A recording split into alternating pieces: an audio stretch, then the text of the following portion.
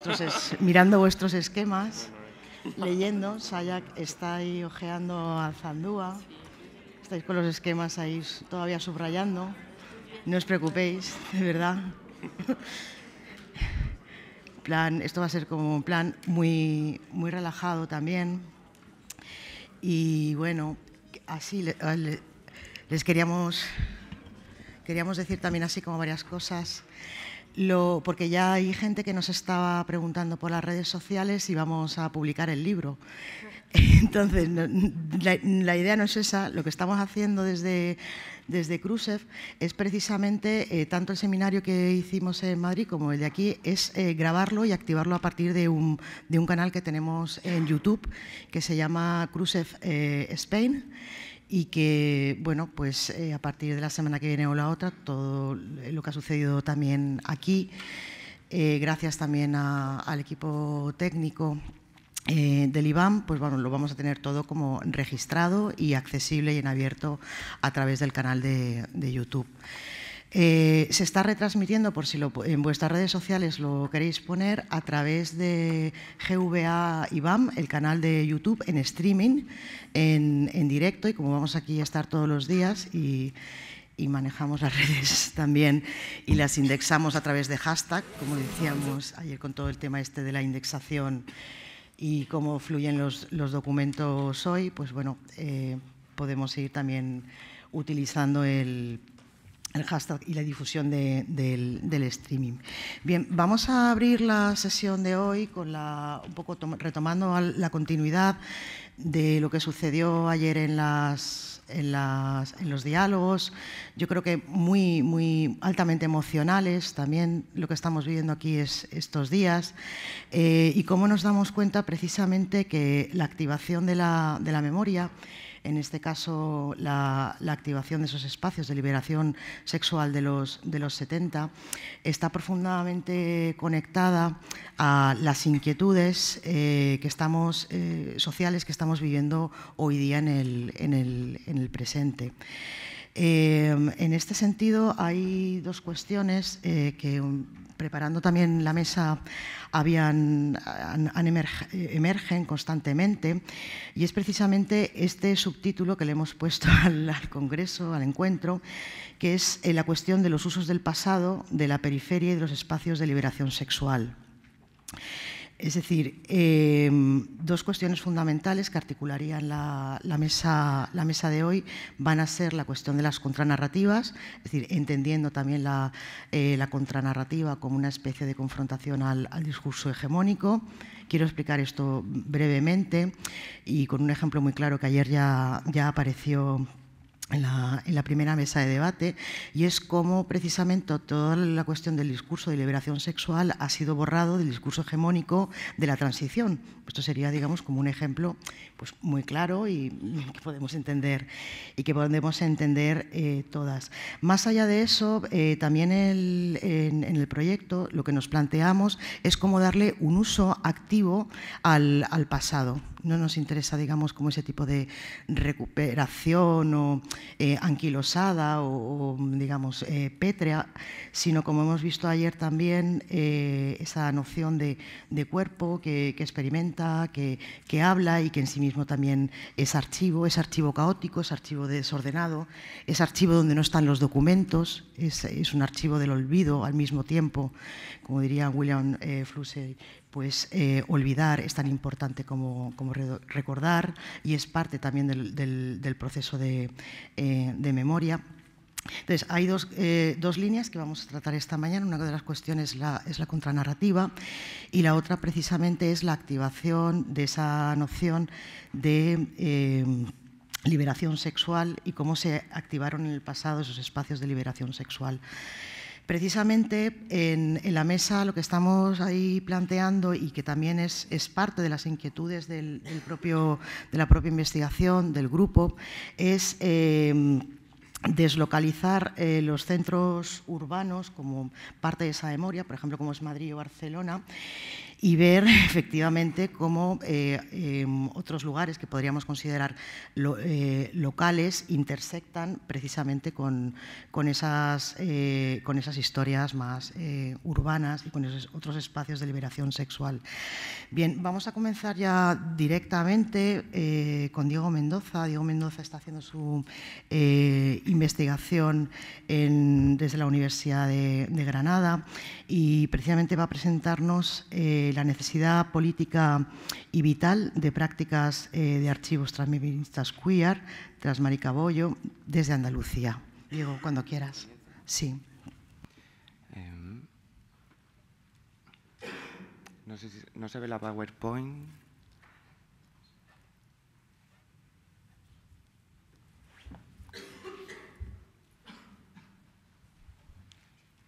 Bien, pues muy buenos días a todos, a todas. Eh, muchas gracias, Virginia, por la presentación y, también a la organización de las jornadas, que la verdad que están, que están siendo súper interesantes.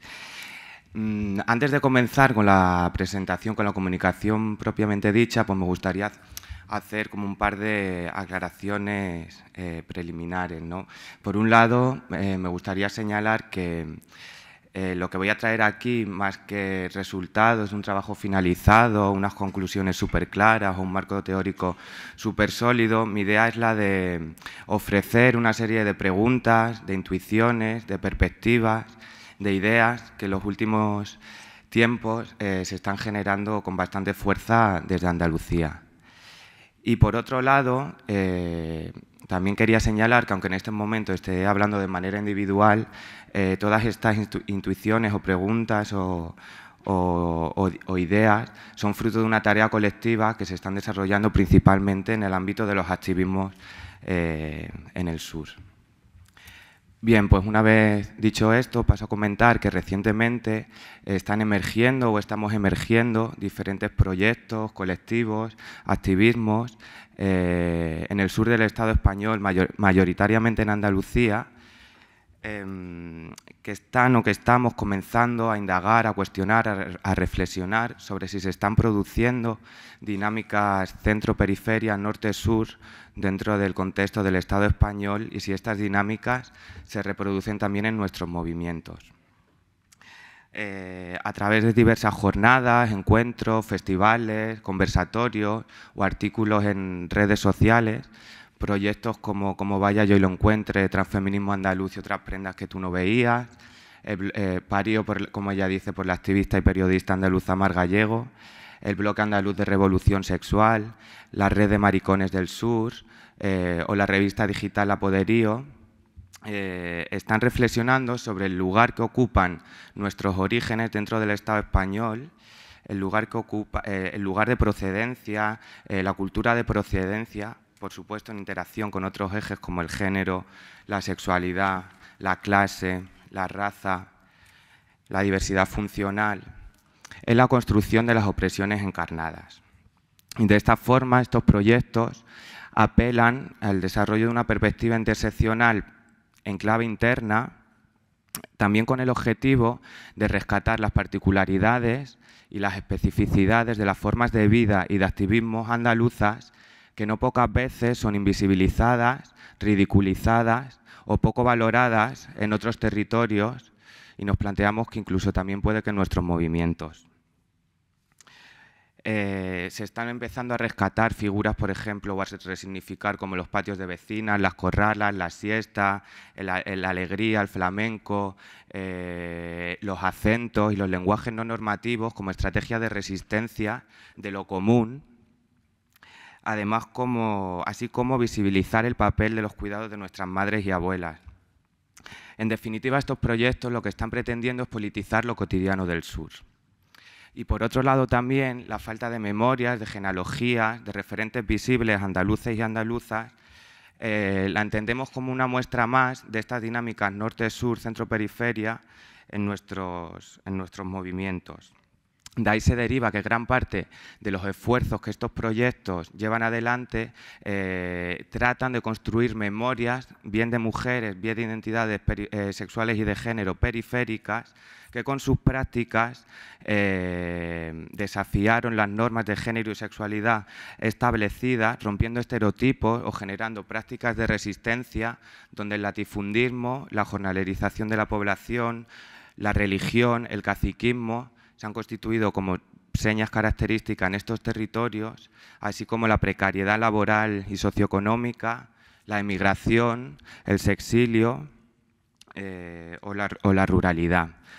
Y por tanto será en este punto de intentar construir memorias alternativas andaluzas en el que estoy centrando mi proyecto y en el que centro esta comunicación y más concretamente en, la construcción de memorias eh, sexuales y de género disidentes andaluzas.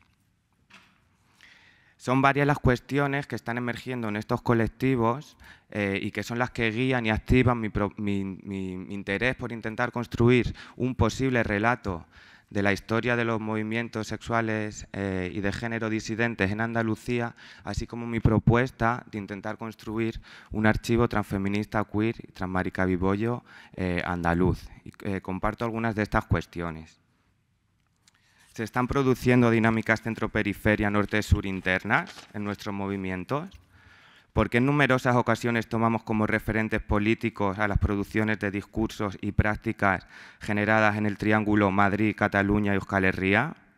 ¿Dónde quedan les activistas o proyectos políticos andaluces en la historia de la disidencia sexual y de género en el Estado? ¿No existen o están invisibilizados? ¿O por qué no son tan reconocidos? ¿A qué se debe por lo general la efímera actividad de los colectivos disidentes sexuales y de género andaluces? ¿Influyen dinámicas de precariedad y de movilidad forzada en las mismas? ¿Existe andaluzofobia en nuestros movimientos? Perdón, estas eran las preguntas.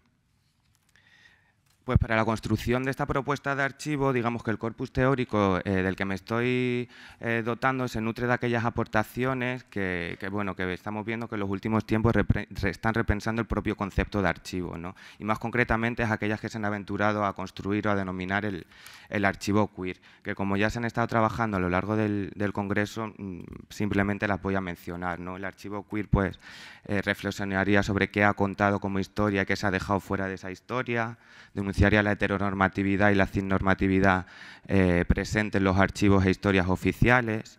Reflexionaría también sobre las condiciones estructurales de visibilidad, incluso dentro de los propios archivos LGTB, donde ya hemos visto que ciertos sujetos son más visibles que otros. ¿no? Ya estuvimos ayer comentando el caso de las compañeras lesbianas o bolleras o de las personas trans. Me pregunto también si aquí podríamos hablar de esa invisibilidad de los activismos del sur. Eh, el archivo queer extendería el propio concepto de que es un material legítimo de, eh, archivo. O muy interesante también la propuesta de Albert le vuelvo a citar, que ayer se cuestiona un poco, ¿no? Eh, incluir esa experiencia vivida de las propias personas queer en estos archivos o rescatar un poquito la idea de, Esteban Muñoz con, su idea del efímero, así como apostar por eh, posicionar en una centralidad nuestros afectos, nuestras emociones, nuestros sentimientos a la hora de hacer investigaciones del pasado. Eh, por tanto, ante, esta falta de situación, ante esta situación de falta de memoria y genealogía activistas andaluzas, mi propuesta es la de intentar construir este archivo transfeminista queer transmaricaboyo. Y mi intención también es la de intentar poner en diálogo estas perspectivas transfeministas, feministas, eh, disidentes sexuales y de género que he comentado al inicio de la comunicación. Eh, conjugarlas con las perspectivas del archivo queer con el fin de reflexionar sobre las, prácticas de selección y exclusión dentro de los archivos, eh, bueno, tanto oficiales como alternativos, eh, que sea crítico con la heteronormatividad y cisnormatividad presente en los archivos e historias oficiales y que repiense o reformule que cuenta como material de archivo. Este archivo, que será un archivo precario, como no podía ser de otra forma, pues así en mi vida y mi investigación, eh, que previsiblemente tomará el nombre de Guardianes de la Contramemoria, un archivo transfeminista, queer y transmarica yo andaluz. Tengo intención de que sea un formato online para que sea accesible e interactivo y su fin es intentar contribuir a desdibujar en cierta medida estas, estas dinámicas norte-sur de las que estaba hablando.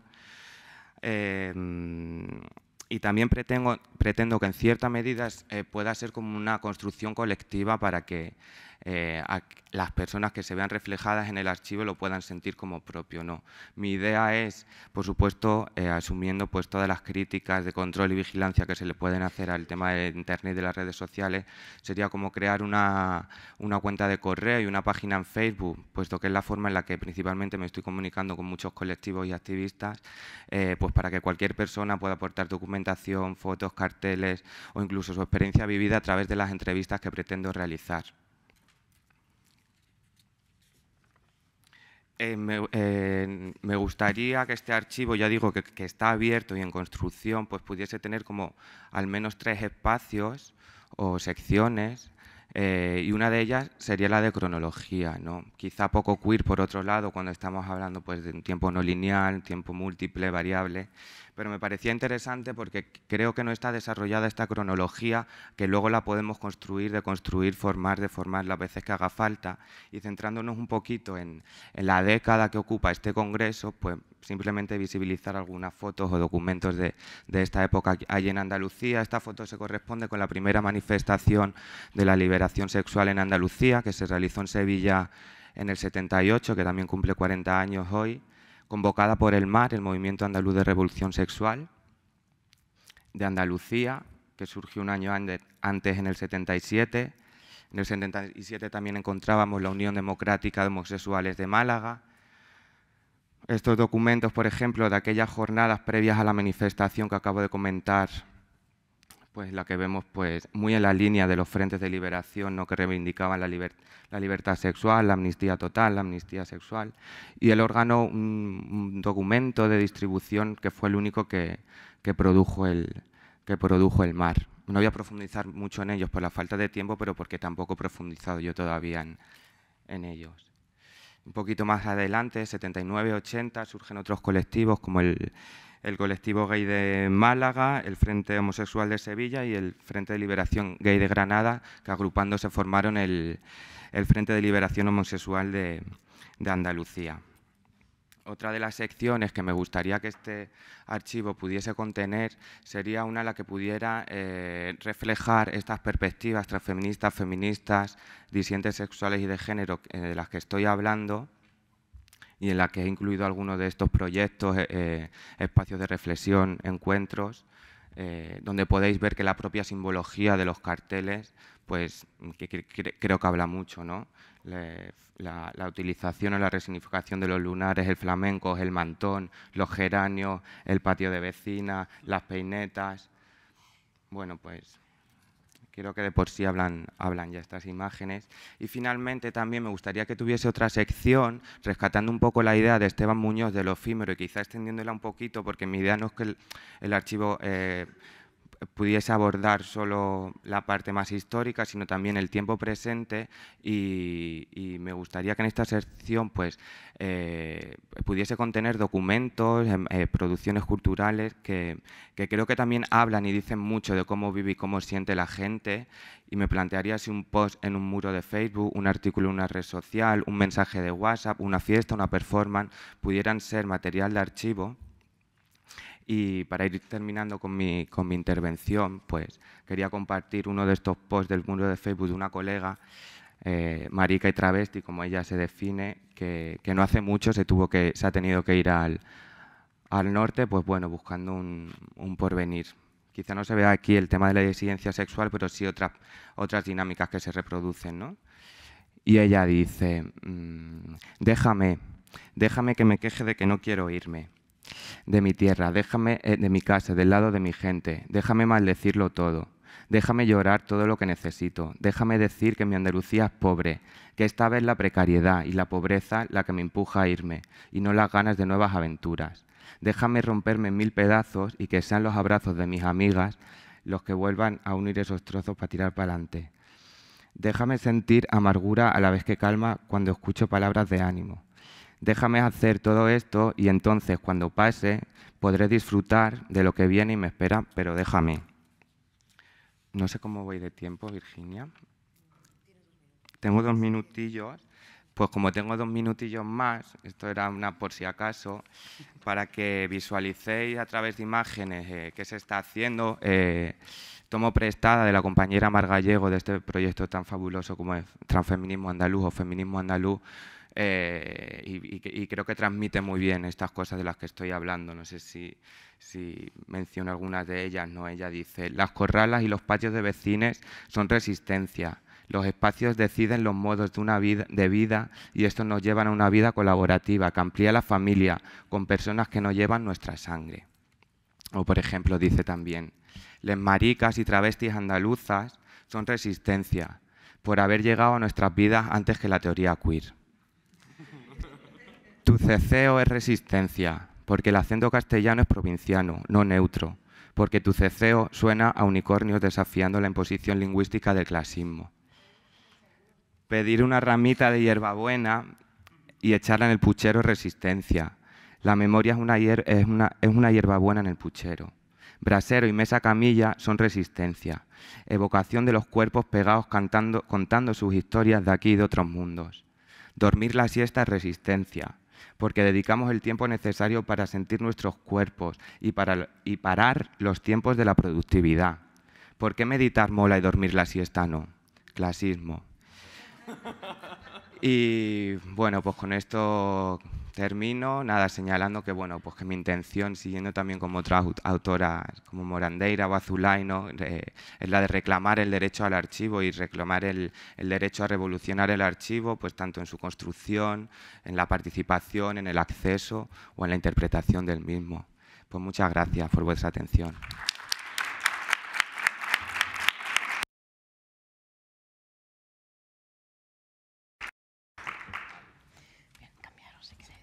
Damos paso a Bartolomé Limón, eh, investigador, de, la Universidad Politécnica, eh, con su propuesta de análisis y construcción del movimiento y la figura queer en Sevilla y su contexto desde los 70 a nuestros días.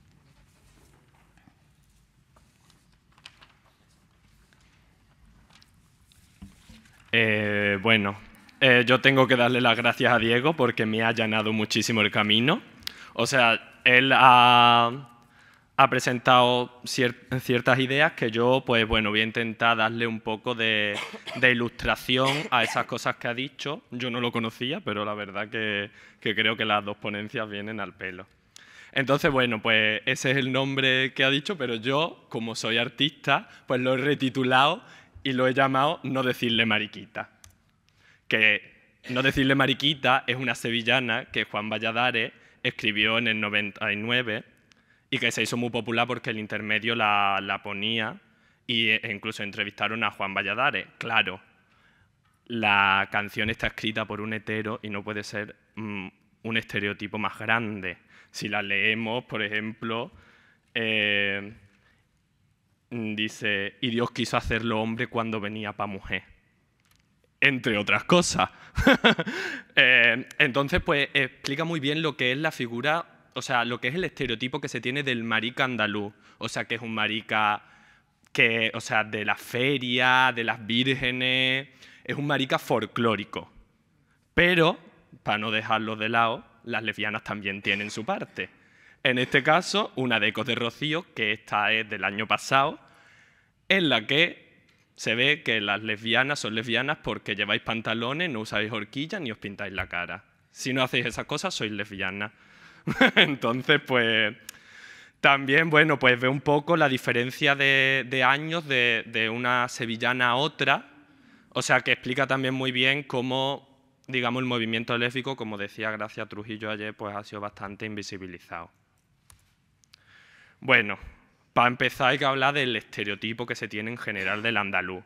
José Ortega y Gasset dice que, o sea, habla de que el andaluz es una persona holgazana, ¿no? Pero por otro lado, el otro estereotipo es que el andaluz es una persona campesina. Entonces, pues intentar explicar eso es algo eh, excesivamente complejo. Aquí. Excesivamente complejo porque Andalucía, o sea, tiene muchas intersecciones. Eh, eh, o sea, tenemos tanta permeabilidad que hacer una teoría andaluza es de una gran complejidad porque o sea, tenemos una gran tradición que, viene, que proviene del barroco, eh, entonces pues, o sea, una gran tradición poética también muy minusvalorada, entonces pues decir que somos holgazanes es, mm, o sea, algo muy parcial, verdaderamente, ¿no? Eh, y por eso la figura del marica andaluz es tan poliédrica, o sea, es de, una complejidad absoluta y no, se puede encasillar. Y bueno, pues es que eh, es eso, o sea, la, idea de, de, o sea, de, Andalucía es, tan complicada, o sea, Juan Sebastián Boyaín y María Caña lo explican maravillosamente en estas dos, en estas dos películas. En este caso, en Sevilla en tres niveles, Juan Sebastián Boyaín va hablando sobre los diferentes estamentos que hay, no en Sevilla, sino en Andalucía en sí, en el que los homosexuales está, los homosexuales, las prostitutas y todo el lumpen está en las azoteas y el territorio más bajo es ese territorio sobre el que se cimenta, sobre la historia, eh, Fernando VII y demás, que curiosamente después estos territorios que Juan Sebastián Boyain dice que estaban más arriba son los que durante la limpieza de la Expo se van a intentar eliminar. Y bueno, María Caña es maravillosa porque va uniendo esa Sevilla tan rancia, tan casposa con la otra Sevilla, que eh, o sea, esa Sevilla activista que, le gusta, o sea, que, es resiliente y que cree en, sus costumbres como una manera de resiliencia, como bien ha dicho Diego. Y bueno, también ha habido, o sea, en Andalucía hemos tenido ese problema de la falta de un archivo ¿no? Que, bueno, o sea, esta ponencia ha sido algo como muy mutable porque precisamente eh, la semana pasada, el día 16, la semana pasada, la anterior, bueno, Marc Ambroyer por fin entregó todo el archivo que tenía ella, que es un, archivo enorme, a, a, los archivos generales de Andalucía, con lo cual lo van a digitalizar y va a ser posible su consulta. Y bueno, también bueno, esto vino porque por la cárcel de Huelva, que era un lugar de la memoria, que era donde se encerraban a los maricas activos, que no era así realmente, pero bueno, se encerraban a los maricas activos y estaba totalmente abandonada. Y precisamente, pues, diez días antes de que se entregase el archivo, por fin se, puso una placa allí donde se recordaba, donde un lugar de la memoria que estaba abandonado, y se comenzó pues su, su rehabilitación con lo cual muestra cómo se están, o sea, esa recuperación de la memoria o ese intento de recuperación de la memoria. Sin embargo, pues eso, es que la, figura de, del marica andaluz es, tan compleja porque, o sea, aquí el artista Ricardo Puello pues lo, explica muy bien con esta serie que me encanta que se llama Mártires del Estereotipo, ¿no? O sea, por ser marica andaluz, eh, te ponen esa cosa de la peineta y demás, que de todas formas es muy subversiva. O sea, eh, yo creo en eso. O sea, el folclore como tal es muy subversivo y de hecho la, idea de marica que, o sea, que engloba España muchas veces es transportada pues de, Andalucía, ¿sabes? Porque, eh, o sea, al fin y al cabo la marca España es la marca del folclore, ¿no? Y, esa idea del marica pues ha, sido muchas veces de la inmigración que, ha ido hacia diferentes puntos de España porque, eh, y se ha dado. Eh, en el caso de las lesbianas, pues bueno, como siempre, pues han estado bastante invisibilizadas, sobre todo porque también había un escudo, que era el mundo del folclore, ¿no? O sea, muchas veces pues las actividades lésbicas se han podido llevar a cabo porque había, o sea, había como un mundo del espectáculo, un mundo del folclore y de todas formas también las otras bolleras, las bolleras digamos hombruna o machuna como se dice allí en Andalucía, también tenían su escudo porque Andalucía al ser un territorio tan rural que se ha trabajado en el campo, esa digamos esa masculinidad pues se, ha podido enmascarar eh, porque siempre en el campo una cosa que me ha hecho mucha gracia que siempre se tiene lo de las mujeres y demás o sea en el campo andaluz trabajan mucho las mujeres y se prefieren eh, a las mujeres mi madre trabaja en el campo y, son todas mujeres, en la recolecta de fresas, en todo, siempre. Entonces, pues también ahí ha habido un escudo para eso. Y por supuesto, bueno, pues las dos grandes figuras que se nos olvida que son de Sevilla, que son andaluces. Ayer salió mucho caña, eh, como ese modelo de marica que se extrapola a, todo, a toda España, ¿no? Y, esas ideas, pues, de, de, uniones, como hace Nazario, que une dos mundos tan que parecen en un principio separados, como es el mundo de la mantilla, el folclore, el mariquita, con el mundo hipermasculino leather, con sus arneses y demás. Y bueno, pues también se está dando una recuperación que, de, las historias, de las historias de, las primeras personas transformistas que, que, o sea, que, que, estuvieron en Andalucía ya incluso con Franco vivo, hacían espectáculos que me pareció muy interesante, o sea, y que Callejero le dedicó un programa, era, el título era un poco desacertado, lo llamó Estrellas Fugaces, mm, esperemos que no sea así, que sus historias pues convivan. Y bueno, con algunas sí que he podido tener contacto, como con Vicky Aranda, que sale aquí maquillándose, que claro, hacer un archivo a partir de esa gente es algo bastante complicado porque sus historias muchas veces se mezclan con unas, intrahistorias que no sabe en qué momento la fantasía em, se, eh, cambia de la realidad, ¿no? O como por ejemplo Jesús Quintero que entrevistó a Estrellita, que era, o sea, él se define a sí mismo como el prototipo de marica andaluz y que era el que limpiaba el cine porno de una de las últimas salas X, o sea, cerró hace muy poco, de Valencia, entonces, pues, o sea, de Sevilla, perdón. Eh, y entonces, pues, muy marica y a él se lo puede ver andando por Sevilla, buenísimo. O sea, cuando salen los pasos de las vírgenes, él muchas veces va con un paraguas y va preguntando, ¿esta qué virgen? Y le dicen, la Virgen de la Iniesta. Y dice, ah, qué fea va, tiene los nardos podridos. Entonces, pues a mí me hace mucha gracia esas cosas, esas visibilizaciones que, que se pueden hacer los maricas en un mundo también tan raro, o sea, y tan complejo como es ese mundo de la Semana Santa, en el que es, o sea, es una manifestación artística o es algo religioso, es algo pues, de mucha complejidad. Y por supuesto también dos personajes que para sus más y para sus menos, a quien le guste, fueron muy y son, uno de ellos muy importante, como fue la Veneno, que dio visibilidad en un momento a todo el colectivo transexual también exponiendo los problemas que se estaban dando en los pueblos de, maltrato hacia los homosexuales. Y Falete, que aunque él es muy siempre muy del folclore, he elegido esta imagen porque me encanta, porque se ve esa permeabilidad de un día vengo con el mantón de Manila, otro me visto de China. Y me, da igual. Y además este disco fue muy importante porque él lo llama sin censura que es cuando él empezó a ser pues, ya un personaje más público, más hablar de, toda su sexualidad. También fue cuando el escándalo este raro del secuestro del novio y todo eso. Pero bueno, como todo, pues también tiene su, otra parte, que es la devaluación de este modelo de marica, ¿no? Porque otra cosa que surge en Andalucía muy fuerte, y sobre todo en Sevilla, es el movimiento oso, ¿no?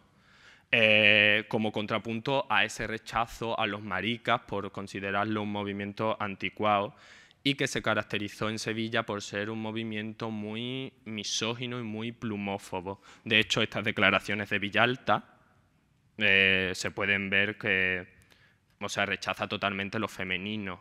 ¿no? Eh, de hecho, este, este dibujo eh, lo hizo para el azulejo del club El Hombre y el Oso, que estuvo en Sevilla, que tenía la entrada prohibida a mujeres y de hecho, bueno, ya ese club no existe, pero el Men que sigue existiendo, también tiene la entrada prohibida a mujeres. En el Ítaca no, en el Ítaca se puede entrar, pero hasta ciertas zonas, claro, en el cuarto oscuro no. Pero bueno, se ve mucho esa, esas tiranteces, también Villalta, a mí me gusta mucho, tengo que decirlo, pero es una persona que le costó mucho aceptar su homosexualidad, entonces pues también lo deja ver. Estos dibujos prohibidos, que son de los 80, no se, no se pudieron ver hasta casi bien entrados los 2000. Y, y la serie esta de Atar los Machos se vio ya en 2002.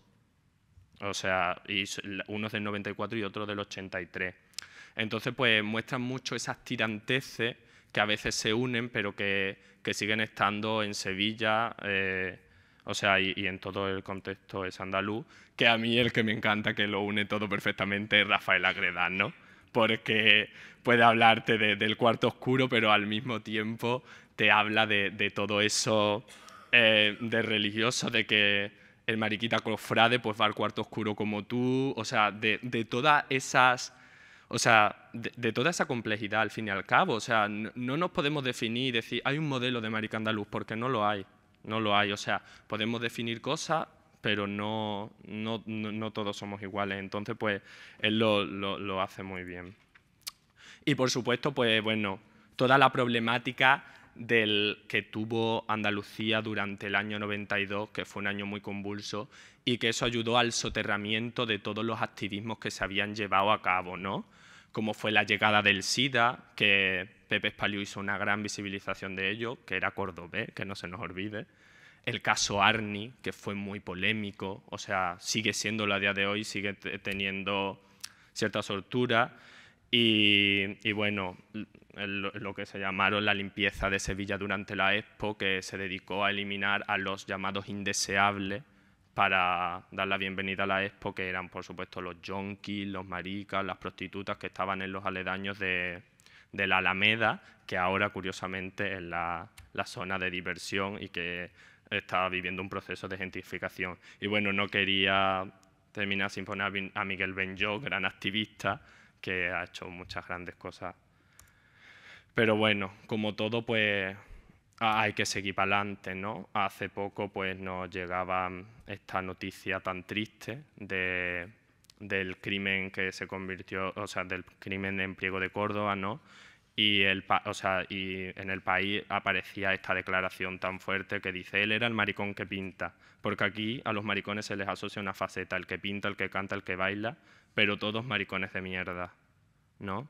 O sea, eh, como hemos dicho, como me lleva diciendo, el marica andaluz y la cuestión andaluza es muy difícil. O sea, y salir del armario en un pueblo de Andalucía es de una extrema complejidad porque todavía se tienen pensamientos, todavía hay gente, o sea, la gente sale muchas veces del armario en esos exilios y cuando vuelven al pueblo vuelven al armario.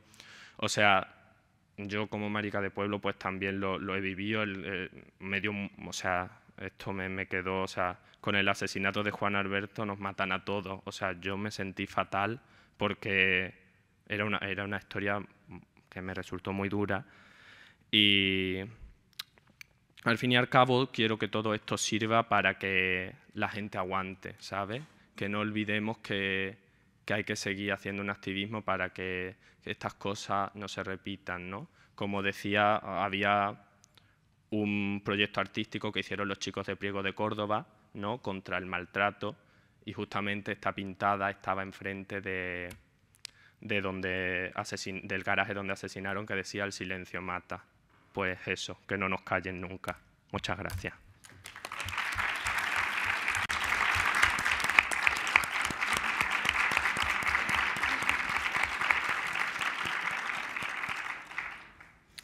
Bien, vamos a continuar precisamente con esta dimensión también de la, contranarrativa.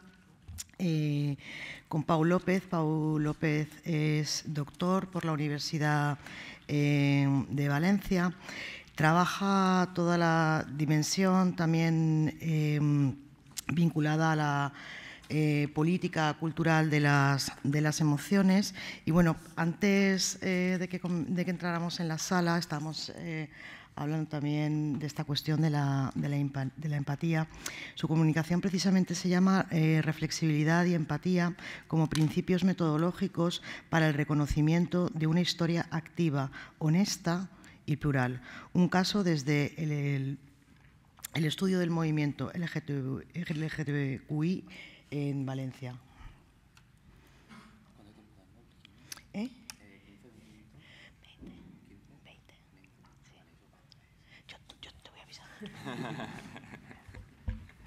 Bueno, muchas gracias.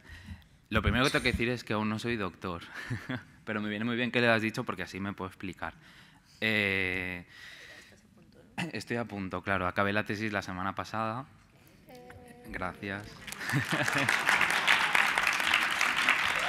gracias, gracias. Además, de verdad, y... Otro sobreviviente. Y bueno, sí, el lunes te lo contaré a ver la supervivencia cómo ha ido. Eh, no, lo vengo a decir porque el texto de la comunicación está colgado en Internet, entonces precisamente, aunque sé que no, tenéis culpa alguna, por mi nivel de saturación mental, lo que voy a hacer es intentar mm, reflexionar colectivamente sobre algunas cuestiones, digamos, de la comunicación, más que eh, hacer una, una propuesta, digamos, teórica consolidada, porque es que no doy para más. Entonces, como también creo que además es el espacio para ello.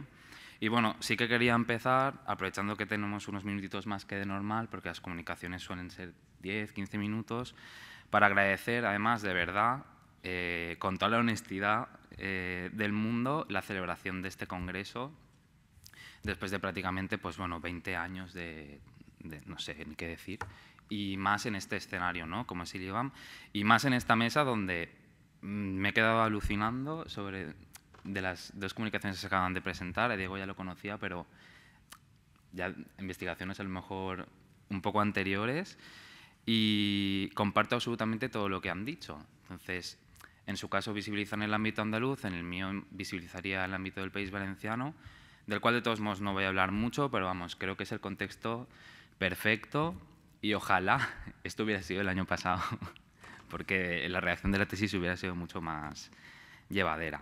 Entonces, dicho esto, eh, voy a explicaros un poco cómo he hecho yo la investigación. ¿no? Además, tengo informantes de la tesis entre el público y eh, personas del tribunal, entonces también un poco para que veáis la, tesitura. Eh, la investigación empezó de una forma muy parecida a la de mis compis, un poco reflexionando sobre la cuestión de las grandes narrativas, ¿no? a nivel, digamos, historiográfico. En concreto, lo que hice fue una aproximación más de carácter casi mm, filosófico al problema de la nueva homonormatividad que, digamos, que plasmó Lisa Dugan a partir del año 2002-2003 eh, y sobre todo poniéndome a mí eh, contra las cuerdas, ¿no? como sujeto privilegiado, pues eso, hombre blanco de un ámbito urbano, además eh, sin, digamos, arrastrar eh, estereotipos de género importantes. Entonces, a pesar de que yo empecé eh, a tratar de visibilizar contranarrativas, al final el trayecto de la investigación en lo que se ha convertido es un poco en una primera experiencia sobre cómo construir un, un relato que sea puente y que sea polifonía entre diferentes narrativas. Sobre todo en el caso del País Valenciano, que ocurre como Andalucía, donde no existe prácticamente ninguna narrativa, que es lo que hablaba con Virginia al principio. No se trata de construir la historia ni de, de, construir la historia, porque la historia no se puede construir, pero es que en nuestro caso no tenemos memoria. Afortunadamente, en el año 2015 sí que salió la obra que coordinaron Juan Vicente Aliaga y Carmen Navarrete, y eso supuso un, aire, un soplo aire fresco estupendo. Había también cosas que habían trabajado algunas personas, pinceladas sobre pues, Trujillo, el tema lésbico, Kerman Calvo, Jordi Petit habían también hablado a veces de la cuestión en el país valenciano. Pero yo me encontraba con básicamente nada. Y diré más, al contrario de lo que puede ocurrir, a lo mejor con Andalucía o con Galicia, tampoco a nivel de la historiografía en general hay nada sobre Valencia. Cogemos obras sobre historia, en general, historia de la transición de los años 80 y los años 60, aquí no ha pasado nada. Luego te das cuenta de que una de las transiciones más violentas con bombas fueron las del país valenciano, pero bueno, eso daría para otro congreso. ¿no? Entonces, bueno, eh, a mí fundamentalmente lo que, lo que me empezó a provocar problemas con las grandes narrativas y también con la propuesta de contranarrativas, que de todos modos creo que son fundamentales precisamente para enlazar con las grandes cuestiones del presente, que es lo que hemos estado hablando durante este congreso, fue que yo trabajo mucho con fuentes orales. Y además, eh, desde una perspectiva, digamos, puramente historiográfica. Yo sé que en los estudios de género y sexualidades la interdisciplinariedad, transdisciplinariedad, como lo queramos llamar, está al orden del día. Pero yo, por mis condiciones de realización en la tesis y también por mi propia formación o mi forma de ser, igual es todo, eh, me encontré con, con muchos problemas. Yo vi que a lo mejor la forma de aproximarme yo, tanto al pasado como a la forma de construir eh, interpretaciones sobre el pasado, a lo mejor eran diferentes de personas que trabajaban más desde la sociología, desde el mundo del arte. Entonces, claro, empecé a darle muchas vueltas a la cuestión del pasado, a las cuestiones de cómo trabajar con las fuentes, etc. ¿Cuál ha sido la situación? Aquí disponíamos de un archivo eh, no catalogado y muy fragmentado que además eh, era custodiado o es custodiado por eh, una organización que podríamos denominar de corte institucionalizante. Y estos son precisamente los, digamos, las, cosas que yo trabajo un poco en mi tesis doctoral. Es una historización del movimiento, eh, sobre todo lésbico, gay, prototrans, luego si queréis entramos en ello, a partir precisamente de, de los debates que hubo en el activismo, entendiendo como plataforma generadora de discursos y de modelos de identidad y de formas de organización, y más que, digamos, de formas de subjetividad. Entonces, el tener un archivo desfragmentado, parcial, que además es custodiado por una organización de este tipo, que luego entraremos en, la, eh, en lo que yo le llamo la dinamitación de este tipo de categorías, institucionalización, radicalismo, etcétera, venía también, eh, digamos, empeorado por la ausencia de cualquier tipo de genealogía. Hacemos activismo en Valencia o en Alicante o en Castellón, pero la gente que no tenemos ni 30 años ignoramos completamente todo lo que ha pasado. Dependemos básicamente de las noticias del país sobre el matrimonio igualitario fundamentalmente y de la gente como en mi caso, que sí que tenemos activismo en este tipo de, instituciones, pero también nos movemos por otros espacios, pues sí que a lo mejor tenemos mm, alguna otra referencia, alguna visión, ¿no? Pues por ejemplo Rampova que abre el programa, no es que sea eh, eh, Ocaña, es que, bueno, esta tarde me parece que viene, ya, si no la conocéis ya la conoceréis y veréis un poco la, trascendencia de estas cosas, que es que no tenemos ni idea.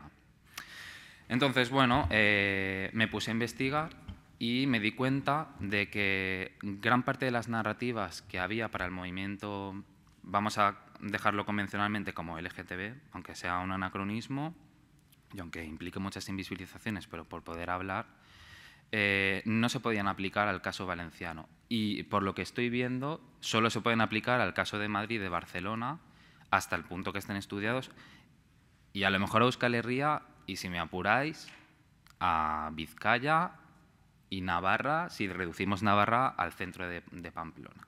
Entonces, viendo que, estas narrativas eh, me resultaban complicadas, me puse a pensar un poco sobre qué podía hacer yo. Es verdad que sin estas narrativas eh, se, hubiera sido imposible mi trabajo y cualquier otro trabajo. Tanto una contranarrativa es imposible si hay una narrativa previa, como no podemos avanzar en el conocimiento sobre la realidad si no hay estudios previos. Entonces yo tampoco pretendo ninguna enmienda a la totalidad de nada. Pero sí que creo que en un territorio donde no había nada estudiado, yo tenía dos opciones. Hacer una contranarrativa contranormativa, siguiendo un poco los principios de la teoría queer, o eh, ver qué pasaba. Y opté por ver qué pasaba. Entonces hice una especie de relectura de la teoría queer, siguiendo un poco a Caroline Dinja o a, Marie Jagos, estas personas que a lo mejor han también tratado la, propia desestabilización de, lo queer y de la teoría queer. Y entonces me planteé, probablemente, paralelamente al surgimiento de contranarrativas, también podemos plantearnos la forma en la que construimos la propia historia. Es decir, eh, cuando yo empecé a trabajar, sobre todo con testimonios orales, me di cuenta de que las categorías revolución o reforma, institucionalización o radicalismo, esencialización, construccionismo, identidades gays, lésbica, trans versus liberación gay, mm, cuestión eh, de la diversidad sexogenérica, disidencia, periferias, eran muy poco aplicables y más al pasado. Claro, yo estaba acostumbrado a leer la historia y a lo mejor simplemente es mi interpretación, pero bueno, al final pues yo trabajo con, con mi persona, ¿no? Eh, me di cuenta de que eh, gran parte de la historia, como estaba narrada, era sobre todo a partir de eh, protagonistas y de el conflicto. Protagonistas, pues por ejemplo, obras clásicas, más de, obras más recientes, sobre todo a partir de 2007-2008, clásicamente, salvo aquellas obras que trabajan en concreto desde una perspectiva más cultural o que trabajan identidades en particular o, con, periodos en concreto, por ejemplo, Gracia Trujillo con la cuestión lésbica o López Romo con la cuestión en la transición del movimiento gay lesbiano en relación con otros movimientos, las grandes metanarrativas sobre el movimiento pues eran de personas como Armand de Fluviá, Jordi Petit, Empar Pineda, es decir, en general eran personas fundamentales para la historia de este país, pero que habían tenido una militancia, digamos, muy marcada y que además, en cierta forma, habían incluso marcado el camino del movimiento, ¿no? que está muy bien porque es su vivencia, pero claro, eso ha ocultado junto a muchísimas otras cosas, que no hemos de olvidar que gran parte de los males que tratamos en, este congreso no son solo culpa de la homonormatividad, sino que tienen que ver con un proceso y con un contexto, sobre todo después de la segunda mitad de los 80, generalizado. Vi que esta forma de narrar las cosas no era aplicable a Valencia, probablemente tampoco va a ser aplicable a Andalucía, ni a Murcia, ni a Canarias. La cuestión, por ejemplo, de la hiperideologización y de los grandes debates que tienen lugar en Barcelona y en menor medida en Madrid y también en Bilbao en Pamplona, en Pamplona perdón, eh, son fruto de unos contextos muy particulares. La Barcelona de los años 70 o de principios de los 80 o el Madrid era muy distinto de una ciudad como Valencia de una ciudad como Sevilla y siguen siéndolo. Entonces, eh, la cuestión de la conflictividad, de plantear siempre radicales, por ejemplo, con la escisión de la CECAC respecto al FAC por una cuestión de género, yo buscaba eso en Valencia. También buscaba las escisiones eh, lésbicas, buscaba la discriminación y la marginación de lo trans. Y no es que no me lo haya encontrado, me lo he encontrado, pero quizás no es lo más significativo. Y eso creo que nos permite también plantearnos el presente, no solo desde a lo mejor la normatividad y la contranormatividad, que me parece fundamental para pugnar por la hegemonía, sobre todo de la normatividad, sino también para, digamos, entender el pasado de forma dialógica y aprender a dialogar en el presente hacia el futuro, si es que no queremos que ocurran las diferentes violencias que siempre han pasado. En Valencia, por ejemplo, por dar algunas, algunos tips eh, de avanzar cosas, digamos, de la tesis, hay en particular eh, tres aspectos que son interesantes para visibilizar esto. Uno de ellos, por ejemplo, es que aquí el gran debate, y creo que esto puede ser muy interesante para el Congreso, no fue entre gays eh, reformistas, entre comillas, o gays lesbianas reformistas, y eh, anarcosexuales, por así decirlo, ¿no? o sea, queer de estos tiempos sino que el debate teórico, y esto es importante, teórico, tuvo que ver sobre todo con, en los años 79 al 80, 78-80, con una facción, digamos, sextopista, es decir, favorable a la liberación sexual con independencia de cualquier tipo de etiqueta, y además, right now, o sea, ya, es el momento, no vamos a esperar, o una, una facción, digamos, más favorable a la liberación gay, entendiendo como tal liberación, eh, digamos, de la sexualidad, pero centrada en aquellos elementos en principio más reprimidos y reprimibles, que sería la cuestión homosexual. Eso, en primer lugar, me descentra respecto a los grandes debates que ha habido en Madrid y en Barcelona. Me imagino que estos debates igual también han estado allí, pero están menos visibilizados. Y eso automáticamente me conecta con dos otros aspectos importantes que son cómo se gestó cómo se gestiona la cuestión lésbica en Valencia y cómo se, gestionó, entre comillas, la cuestión trans en esos años también. Frente a la clásica imagen del arrinconamiento y el desprecio de la cuestión trans, por los motivos que fueran, en los años, eh, sobre todo a partir de la visibilización de la Gran Mani del 77 en Barcelona y lo que pasó después, los debates también eh, respecto a la cuestión de la pluma, que ayer se habló que no había un diálogo con otros ámbitos, es fundamental, por cierto, y esto es una elipsis, reconocer el papel, por ejemplo, que las personas exiliadas de Argentina tuvieron en el Estado español, más allá de los textos eh, programáticos clásicos. En, por ejemplo, gran parte del conflicto sobre la pluma en Madrid no se puede entender sin el papel de Ricardo Lorenzo o Héctor Navitarte por allí. Entonces, esto también hay que visibilizarlo, ¿no? los flujos un poco sur del norte y norte del sur, porque Argentina probablemente es el norte del sur, con muchas comillas. ¿no? Eh, a ver, que no me pierda, vale, ya está. Eh, la cuestión lésbica, la cuestión trans, evidentemente fue conflictiva, como no podía ser de otra forma, porque era, ese periodo era así. no solo era conflictiva por la propia gestión dentro del movimiento. ¿Voy bien de tiempo? Llevo ocho. Ah, maravilla, máxima, vale, genial. Eh, sino por las propias condiciones de represión lo más visible, bueno, lo más invisible porque no se conoce mucho, pero lo más visible de la represión en Valencia, por ejemplo, fue la sección 26 de la Policía Municipal que se dedicaba a pillar, entre comillas, travestis de la Avenida del Oeste, desvalijarlas, darles palizas, chantajearlas y tirarlas al, río. Y al día siguiente, pues si podían subirse en algún coche, se subían y volvían. ¿no? Ese era realmente el problema.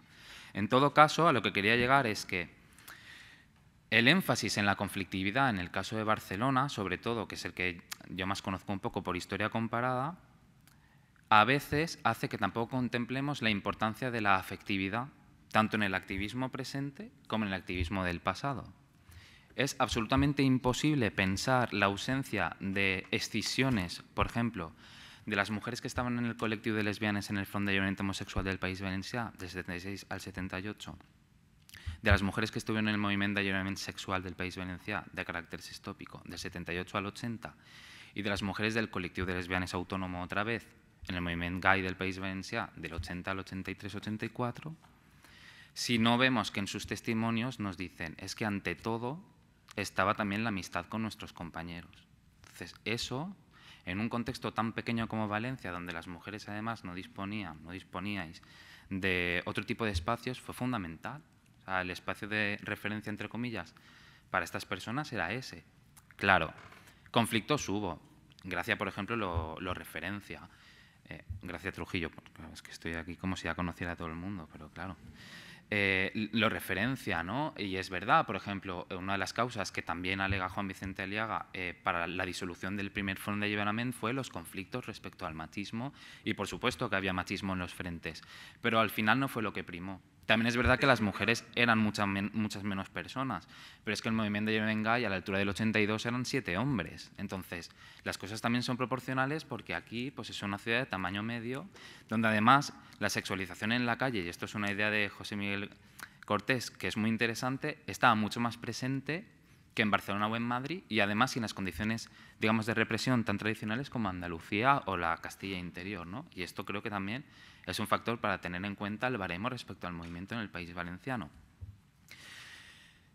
Si las mujeres lesbianas, las que se visibilizaron y politizaron como lesbianas en el movimiento mixto, eh, se quedaron, entre otras cosas, por la cuestión de la afectividad, evidentemente también porque a lo mejor todavía no había impactado tanto el feminismo en la diferencia, ni había habido una división tan importante, todo eso evidentemente lo contemplo, pero yo también apuesto por visibilizar lo otro. Con la cuestión trans pasa un poco lo mismo.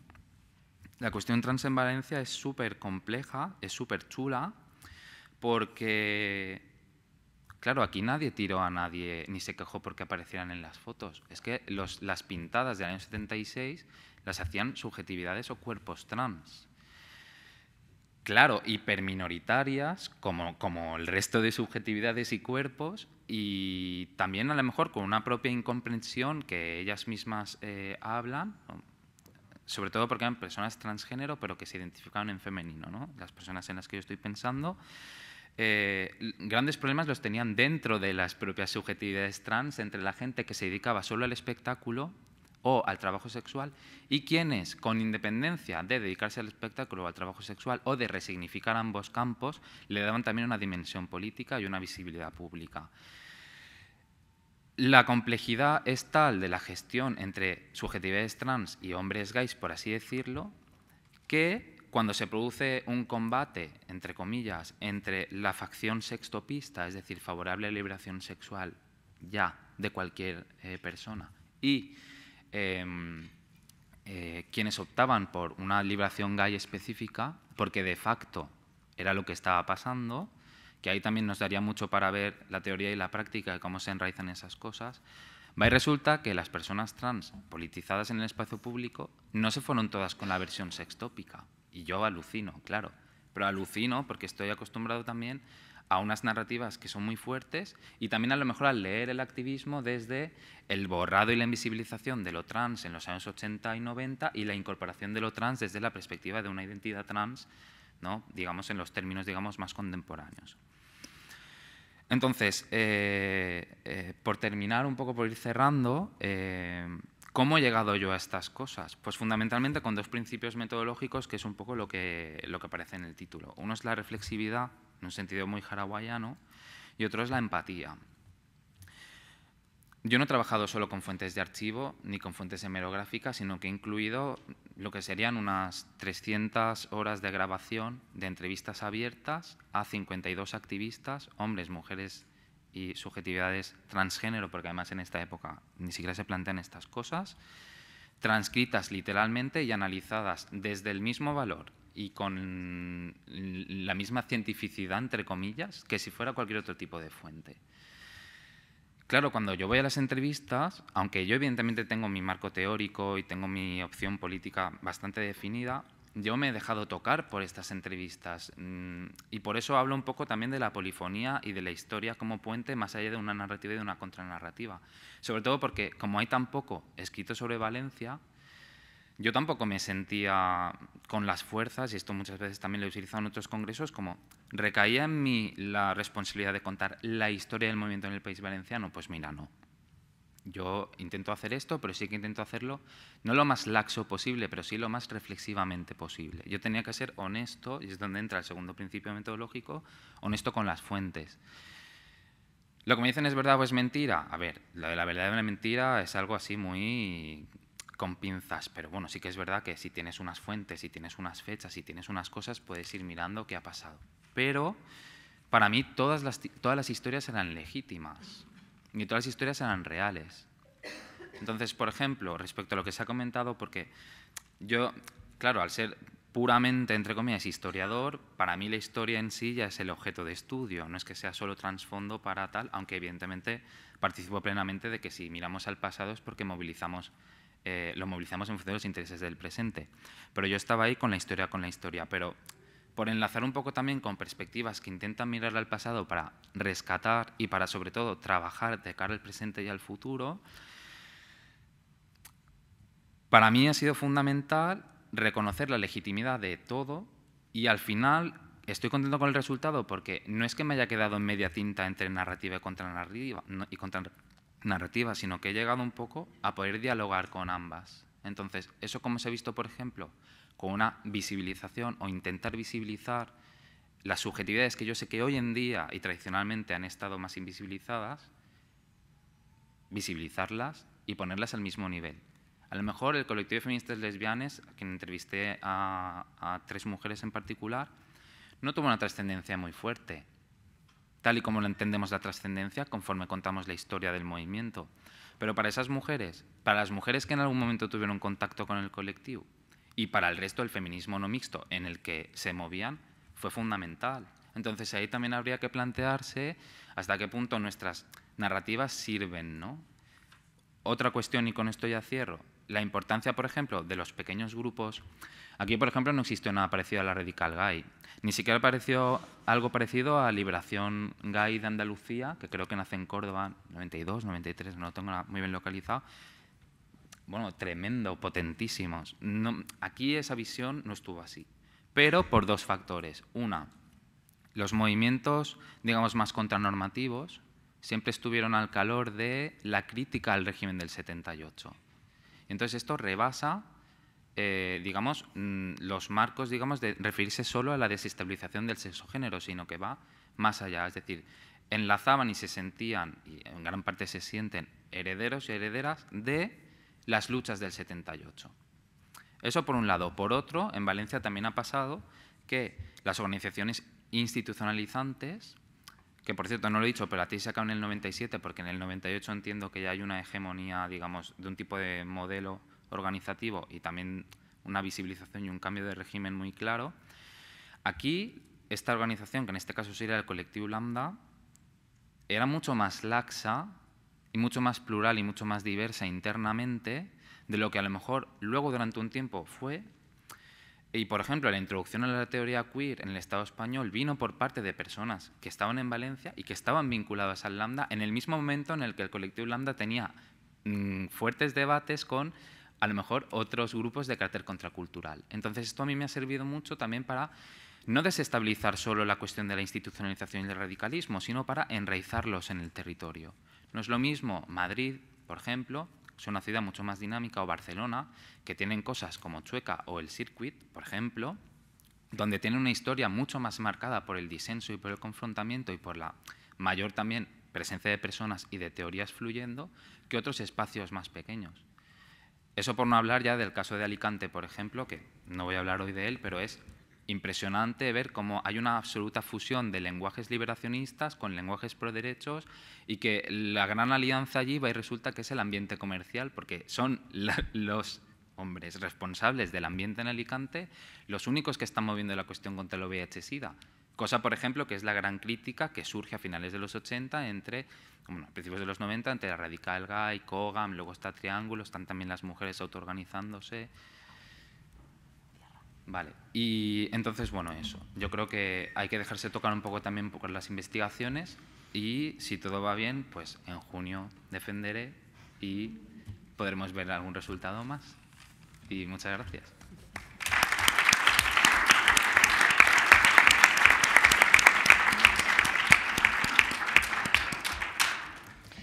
Gracias, Pau, por, por el esfuerzo eh, también. Vamos a, continuar también por, eh, en este viaje que es esta, que es esta mesa, acudiendo a, esa, a, esos usos del pasado, esas periferias y espacios de liberación eh, sexual, a través también de, una eh, noción que estamos trabajando justo a la noción de transnacionalidad, que es la de, la de sur, sur global y está con nosotras eh, Sayak Valencia, que siempre es una suerte que estés por, por estas tierras. Eh, Sayak eh, es doctora en, filosofía por la Universidad Complutense, de hecho pasó muchos años en, en, Madrid, casi una década diría, con lo cual estos ires y venires también dentro de lo que seríamos pues, bueno, una, eh, una generación eh, de activistas y, pensadoras eh, se ha dado, digamos, de una forma como muy, como muy natural siempre. Y, trabaja también como profesora, eh, porque bueno, esto es, una cuestión que no hemos, no hemos planteado, que ha venido saliendo así como tímidamente, de cuál es nuestra mm, posición también a veces como dentro de la, de la, de la academia, en, dentro de una academia también, pues bueno, donde, como comentaba Pau, también hay muchas eh, resistencias, ¿no? Hay muchos lugares abiertos ya también, pero bueno, siempre es como una especie como de desafío, ¿no? El, trabajo continuado y, en, profundidad, cuando tiene una dimensión eh, política, precisamente. Eh, Saya, como os decía, también es, es profesora del programa de doctorado de estudios culturales en el Colegio de la Frontera, en Baja California, Tijuana, y, y su comunicación lleva por título Back and Forward, Feminismo Chicano, Lesbiano, Disidencia Sexual y Memoria Queer. Queer. Queer. Sí, lo vamos a acercar, te lo acerco. ¿sí? A ver, oh, espero no arrancar nada. Ah, no se puede mover. Bueno, ya estamos tocando cosas que no se pueden mover. Estamos intentando mover cosas que no se pueden mover. ¿No me extraña, Virginia? Eh, sí. Bueno, pues eh, primero muchas gracias por la invitación y quisiera que la voz la tuviera así de sexy todo el tiempo, pero tengo un gripón que no vean. Entonces, gracias por la invitación a, Virginia, pero también a toda la, organización de, de esto, a Alberto, que estuvo, ha estado organizando y bueno, todo el grupo de trabajo que, que están haciendo este congreso. También eh, un gusto ver a mucha gente querida y gente admirada y conocida y que puede ir todo junto o puede ir todo separado, pero querida, admirada, eh, leída. Y también a gente joven que no, que no conozco porque me fui hace ya muchos años, como cinco o seis, pero que veo que sigue ahí la estafeta corriendo y que eso es muy bonito, es muy interesante y muy importante. Yo voy a, preguntar dos cosas antes de empezar. Eh, primero, ¿qué entendemos por sur? Y después, ¿dónde está Canarias? no, a mí me falta, no sé, yo creo que hay gente de Canarias haciendo cosas.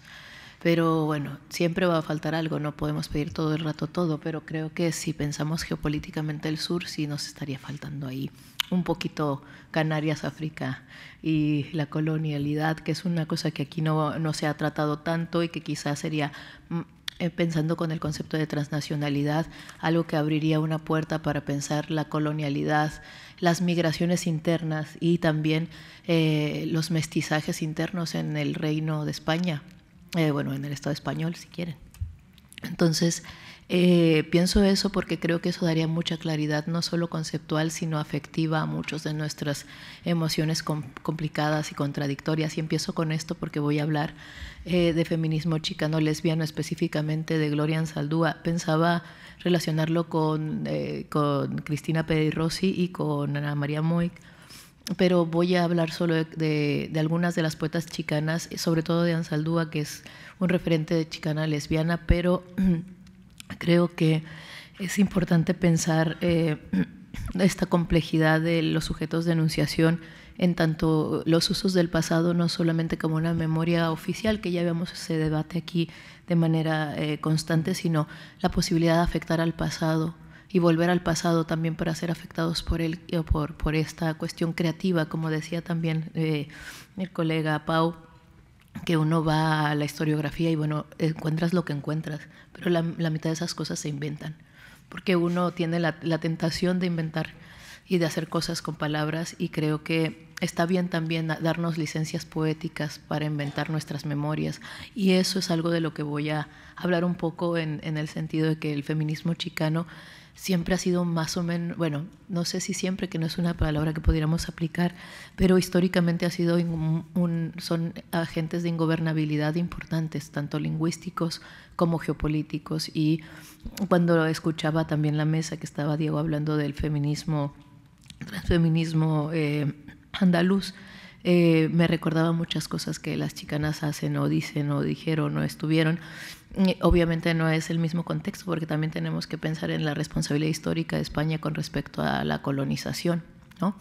Y no es una, no estoy culpando a nadie, solo como que hacernos cargo y pensarlo en conjunto, porque de hecho el concepto del sur, que es con lo que empiezo a pensar, es la gente que se ensurece, ¿no? el devenir minoritario, también no es solo una geopolítica, sino los sures que proliferan dentro de los nortes y luego los nortes que se vinculan con clase, con raza, con sexualidad, con normatividad, que van proliferando también en esos sures, ¿no? que por eso los discursos son tan, tan, estriados, si queremos hablar como con, con Deleuze y Guattari o Derrida, pero, pero pensar también en estas proliferaciones no solo conceptuales, sino vitales. Y creo que hay algo del feminismo chicano que me interesa mucho y en, el libro de This Bridge Call My Back, es, ellas hablan en el capítulo 1, en la primera sección, ellas dicen eh, de dónde viene nuestro radicalismo y se llama la teoría encarnada.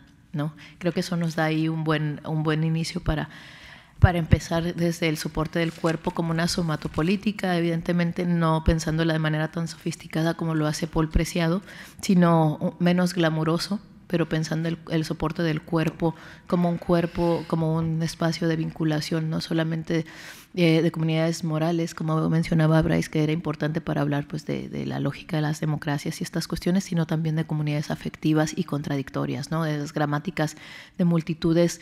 Mm, no, no representables eh, como, como, no solamente como normativas, sino ni como deseables. ¿no? Y ese, ese, esa irrepresentabilidad o ese estar ahí de una manera poco glamurosa, ¿cuánta invisibilidad recae sobre la gente que es más visible? Pienso en la gente racializada por color, pero también por geopolítica la gente invisibilizada por lenguaje y la gente invisibilizada, o sea, los negros son las personas más visibles de la sala, si hubiera negros aquí los veríamos, pero no estarían acá arriba, pues no están, ¿no? Entonces, esta cuestión ¿no? de, estas contradicciones, y yo me propuse que no iba a hacer nada de lo que estoy haciendo, pero porque escribí mi ponencia para tener tiempo, pero como siempre me gusta desobedecer, creo que eso es una, herencia chicana. Este, cuando yo leía en Saldúa como con 17 años, eh, yo no sabía mucho, empecé a leer a, a, a, y a Ansaldo al mismo tiempo. Entonces era una cosa muy loca, ¿no? El, hombre de mi cabeza, de la filosofía, y luego mi cuerpo chicano, que no es chicano al final tampoco, pero, pero bueno, voy a empezar. Back and Forward, feminismo chicano, lesbiano, disidencia sexual y memoria queer con C, U y R. Eh, en el presente trabajo se busca indagar sobre una epistemología queer eh, proveniente del feminismo chicano lesbiano, que tiene sus orígenes en el movimiento feminista chicano de finales de los años 70 en el tercer mundo estadounidense. Voy a hacer una pausa, también un poco estamos centrándonos en, en, los usos del pasado de los años 70 porque entiendo que para España los 70 es un momento importante, la transición y bueno, todas estas cuestiones de la construcción de la democracia y otras cuestiones, pero también veo que los 70 justamente, bueno, 60, 70, 80 son un continuum, ¿no? No podemos pensar que los 70 efectivamente empiezan en el 70, sino que en realidad hay una continuidad de los, los grupos y de las luchas de los años 60 que se vienen, que te trasvasan a los años 70 y de los 80 que se van a, a, libros o a publicaciones que aparecen de los 70 en los 80. También pensemos un poco que evidentemente la historia no se reduce a los 10 años que dura la década, sino que hay como continuums, ¿no? Y hay resabios y que además 40 años parece que es muchísimo porque tenemos una, una educación o un recableado de producción de la sensibilidad que tiene que ver con la con un tiempo muy inmediato en el que nos hemos ido acostumbrando, pero realmente 40 años es es suficiente tiempo como para tener una memoria y pensar una memoria reciente, no es que haya pasado hace 200. Pero tenemos esta sensación de que si ya pasó ayer, ya es, ya es antiguo, porque estamos muy mediados, ¿no? Nuestra percepción del tiempo es como muy mediada. Entonces, entendiendo por epistemología queer aquella que se localiza en intersecciones entre raza, clase, género y geopolítica, y no intenta representar lo que investiga, y esto es importante, no intenta representar lo que investiga, sino que se elabora desde la participación y localización de quien escribe, atendiendo el carácter performativo de la memoria y la posibilidad de contaminar los relatos autorizados con genealogías borradas y producidas desde cuerpos racializados y hablas con acento. De ahí la escritura del queer con CUIR en lugar del queer. Y esto, eh, lo que estoy diciendo, quisiera que lo pensaran como si lo estuviera diciendo en los años 70, no ahora. Porque quizá todo lo que digo suena ya como una retaíla de conceptos juntos, ¿no? Raza, género, sexualidad, eh, geopolítica, y claro, si lo digo en 2018 suena casi una letanía, una saeta, ¿no? Allá nos arrancaremos a rato. Este, pero pensemos que esto lo estaban diciendo las feministas chicanas en los años 70 y en los años 80, ¿no? Igual que aquí había mucha discursividad que, se ha ido perdiendo porque se ha ido homogenizando. Ayer hablaban de, esta captación de, la, de las etiquetas para poder transitar hacia la democracia y quitar el contenido político de las etiquetas y de, las uh, autoadscripciones o heteroscripciones, dependiendo del caso. Pero entonces piensen esto en los años 70. ¿Cómo se escucha? No se escucha ¿no? Es, algo que sería difícil de pensar en los 70, sin embargo, las feministas negras, chicanas, asiático-americanas ya lo estaban pensando. Y de hecho, el concepto de interseccionalidad que se le atribuye a, Kimberly Crenshaw, que es de los años 80, es un concepto que se utiliza ahora de una manera eh, casi eh, pues muy, muy expandida y muy extendida, pero poca gente sabe que Kimberly Crenshaw es negra y poca gente sabe que Kimberly Crenshaw es, era una abogada, es una abogada feminista negra. De repente cuando los conceptos se vuelven de uso común son maravillosos, se universalizan, pero se les borra eh, si, no es, si no tiene un apellido eh, europeo, blanco o una geopolítica eh, legítima y no colonial, entonces de repente pasan a ser de uso común no un aparataje discursivo de uso común, que pasa también con el transfeminismo. a mí me pasa mucho que de repente yo veo a mucha gente citando a Virginie Dupont, diciendo, no, el, transfeminismo, la violación, tal. Y le digo, ¿y esto, esto, es de Virginie? No, no, sí, pero, pero bueno, todo el mundo sabe que es de Virginie. Le digo, bueno, pues a Derrida, todo el mundo sabrá que es Derrida, pero le pones Derrida. ¿no? Pero hay una diferencia importante entre el reconocimiento a una lesbiana punk que a un señor de trajes eh, extraños que me encantan eh, y que al final era africano. A Derrida hay que leerlo como africano, no como francés. Pero en fin, estoy aquí. Apenas no he pasado el primer párrafo, perdón. Eh, Eh, bueno, así la presente comunicación plantea una metodología de back and forward que niega la linealidad del tiempo y la memoria, pues esta pasa por un proceso de ida y vuelta, un proceso de reconstrucción que, tiene capacidad creativa, ya que al revisitarse se afecta el pasado, pues este se recrea y aparecen elementos tanto narrativos, históricos y conceptuales que nos dan pauta para elaborar colectivamente léxicos y temporalidades ignoradas por las historias oficiales del movimiento blanco LGBTI y del queer angloamericano. En este sentido, la indagación que intento hacer eh, sobre la memoria del movimiento feminista chicano y su vinculación con lo que Gloria Saldúa denominaría el mundo zurdo, eh, y en este sentido no es inocente que ella le diga mundo zurdo, porque es el mundo torcido, el mundo de la izquierda, el mundo maricón, el mundo de lo minoritario, pero también el mundo de la izquierda revolucionaria. O sea, también estamos pensando en el mismo momento histórico en el que estábamos pensando las cosas aquí. El, el, día de ayer cuando hablaban eh, de Mario, eh, ¿cómo se llama?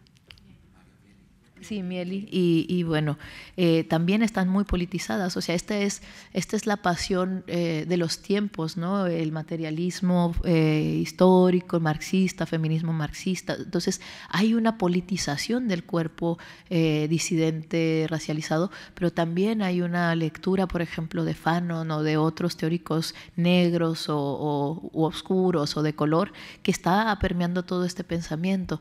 Entonces, es como, como si estuviéramos latiendo al mismo tiempo en las mismas décadas en geopolíticas distintas, pero que tienen muchos en común porque los procesos de extracción y de marginalización son a veces transversales a las comunidades, porque pensemos que el poder eh, tiene una cartografía muy precisa, y que también aquí voy a hablar un poco de hechos históricos de los años 70, porque eso estaba también construyendo la subjetividad y, y la singularidad de los procesos de debate y de contranarrativa en, en, el, en el momento no solamente anglosajón, sino también, pues digamos, a nivel transnacional.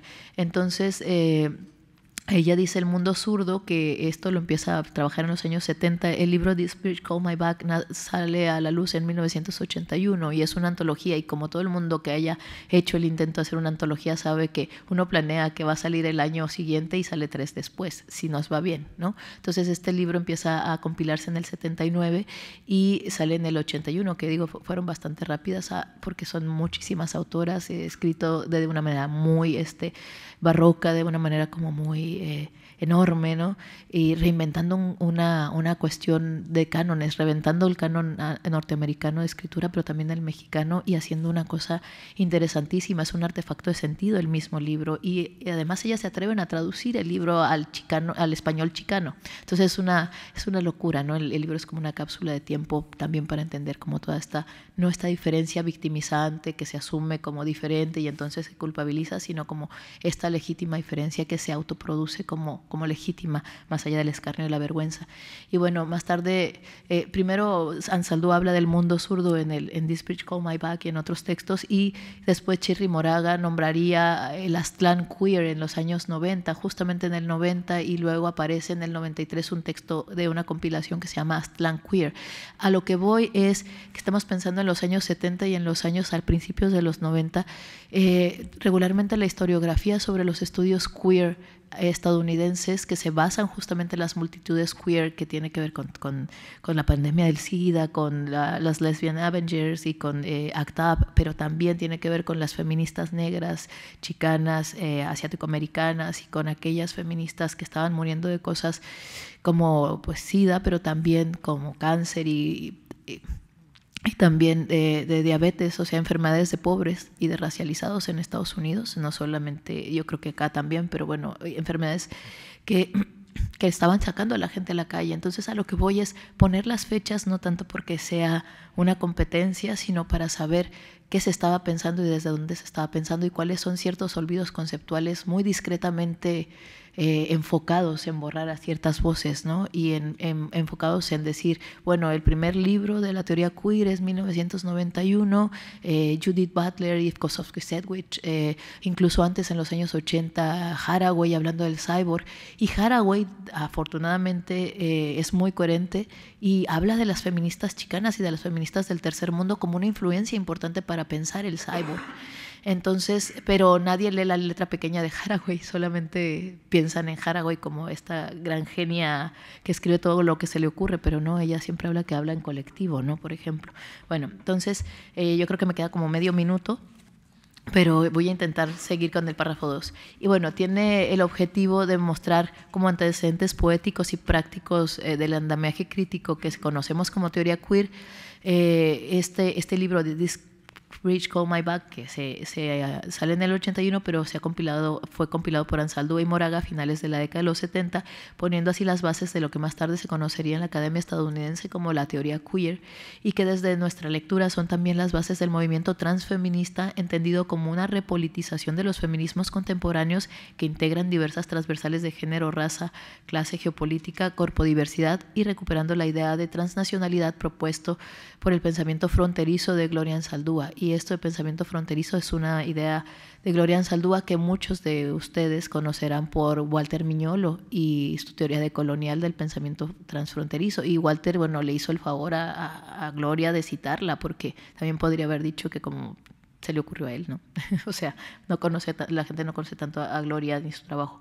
Así, la apuesta es analizar a grandes rasgos los procesos políticos, económicos y sociales vinculados con el posfordismo y la escritura precaria, que a su vez conforma una memoria precaria que acarecieron durante los años 70 en los Estados Unidos y se vincularon con otros movimientos sociales de la lucha de sexo disidente en geopolíticas como la española, eh, la España franquista de los años 70, encarnándose en dos casos que me parecía interesante analizar y que no, no voy a hablar mucho más porque ustedes seguro que las conocen y mucho mejor que yo.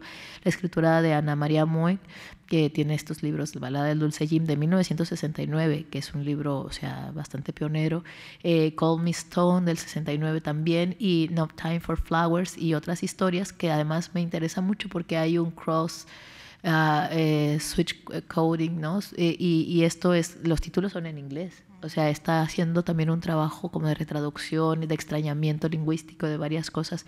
Entonces, bueno, Peri Rossi también, que tiene, que habla desde en los 70 y su exilio de, la diáspora, y, pero también de poemas eróticos y de visibilidad, de visibilizar un mundo, una simbólica también y una erótica de las mujeres eh, feministas, lesbianas.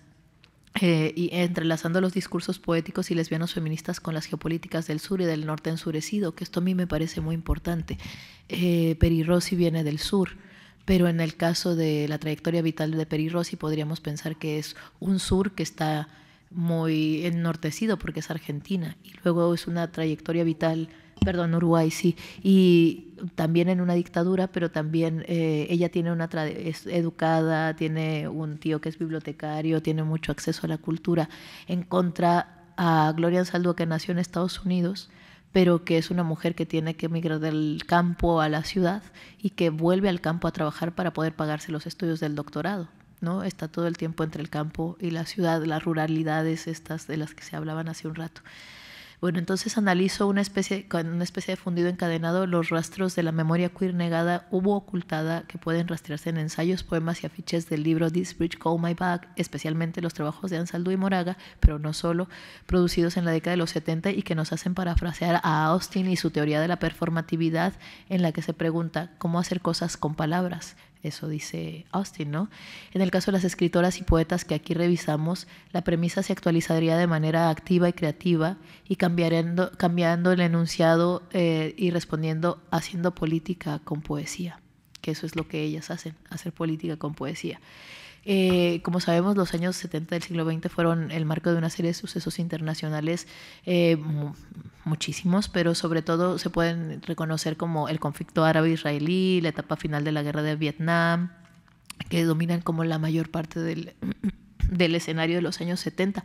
No se habla, por ejemplo, eh, de, de, la ruptura, de la intervención de Estados Unidos en el eje panarábico en los 70, no, no se piensa en la relación entre Nueva York y Damasco, bueno, todas estas relaciones económicas y políticas que van a traer consigo varias cuestiones, bueno, la crisis del petróleo también, eh, ahí soy una empollona, tenía ahí como todos los datos, pero mejor me voy a quedar tranquila porque si no, no voy a terminar, me quedan como cinco.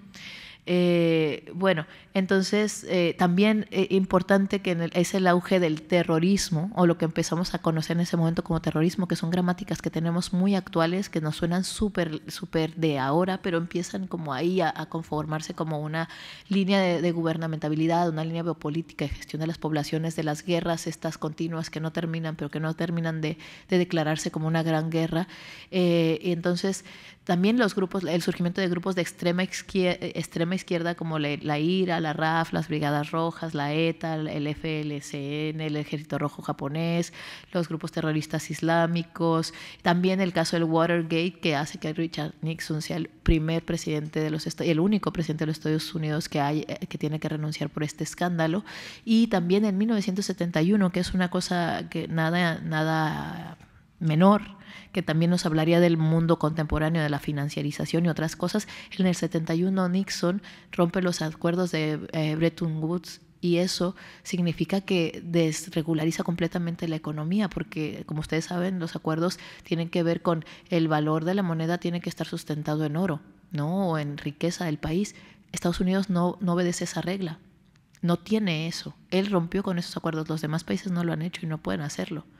Pero Estados Unidos lo hizo en el 71, por ejemplo. Entonces, eh, todas estas cosas, eh, no quiero hablar de todo esto, pero bueno, aquí ya saben lo de la dictadura y las dictaduras en el sur de, Europa, Grecia, Portugal, España, que empiezan con sus transiciones democráticas, de lo que se está hablando acá, pero también del inicio o la continuidad de ciertas dictaduras en el sur, ¿no? Mientras aquí van terminando, ahí se van, se van como recrudeciendo. Y también en el ámbito social, pues se popularizan mucho, que a mí me gusta mucho el rollo pop, entonces los electrodomésticos, como el microondas, el Wallman, el microprocesador, el ordenador, la calculadora, la televisión a color y las drogas también. Eh, la heroína es este puente eh, que conecta como varias cuestiones. Bueno, dentro de este marco se localizan también las luchas por los derechos civiles de las poblaciones pobres y racializadas y de los, de los Estados Unidos de Norteamérica y en palabras de las feministas de color que se autoenuncian del tercer mundo estadounidense. También en este tiempo es el apogeo de movimientos civiles como las Panteras Negras y el movimiento chicano organizado, que en torno a, el, movimiento chicano se, se, organizaba en torno a derechos básicos a la educación eh, y, la, y tenía una impronta antibelicista muy importante porque entendían que justamente el ejército, o, sea, enviaba como carne de cañón a los mexicoamericanos y eran los primeros que morían, entonces estaban en contra de la guerra de Vietnam, pero a pesar de que eran así izquierdistas y bueno, machistas leninistas, como sabemos, que también nos suena mucho ahora, e hicieron eh, una, una, una conferencia en 1969 donde dijeron, pues hemos decidido como movimiento, la conferencia de estudiantes decidió que las mujeres chicanas no necesitan ser liberadas y que el feminismo es una cosa de gringas y que las chicanas tienen que estar aquí para la raza y la raza es reproducción, ¿no? Entonces ya tengo que, tengo que cerrar, no, ni siquiera voy a no me va a dar tiempo de, leer algunas cosas, pero eh, pues las chicanas se, se escindieron del movimiento porque dijeron, entonces esto lo que me estás tratando de hacer es oprimirme también. Y hay un poema que se llama Chicanisma de, de María Saucedo que, que dice, deja de oprimirme, vato. Bueno, es, es, es, un poema que está muy, muy bien en el libro The Spirit Call My Back. Y yo pensaba leerlo, pero ya, ya no se puede. También hay una segunda ruptura con las feministas chicanas hacia el movimiento de la heterosexualidad obligatoria y del movimiento feminista blanco, donde dicen, dejen de vernos de manera victimista. Hay un poema que se llama Y cuando se, lleve, se vayan, llévense, sus, llévense sus retratos, que es de Jo Carrillo. Y también están diciendo, pues no queremos esta, esta no queremos hacer de víctimas para tener derecho a, ser parte de los movimientos feministas. Y luego ya, eh, ya finalmente la conceptualización de, de, Ansaldúa eh, es interesante porque hace una alianza entre disidencias donde no se separa de manera tajante el cuerpo con la razón, entonces, eh, ella también habla de una cuestión espiritual y de una cuestión erótica y de una cuestión poética que no están glamorizando la precariedad, ni encarnando el concepto de víctima, sino que ella habla de, una, de interpelaciones cotidianas en la construcción de una epistemología fronteriza que da cuenta de un archivo del everyday life sin glamorizar la precariedad y rechazando el papel de victimización reservado por el feminismo blanco para las mujeres de color y reproduciendo performativamente el registro de una teoría encarnada y posicionándose más allá de las dicotomías binarizantes del pensamiento y la racionalidad de Occidente y occidentalizada. Pues ya voy a cerrar aquí y no sé si después, eh, cuando tengan preguntas o así, pueda hacer una, eh, como una intervención, sobre todo cuando habla de terrorismo lingüístico.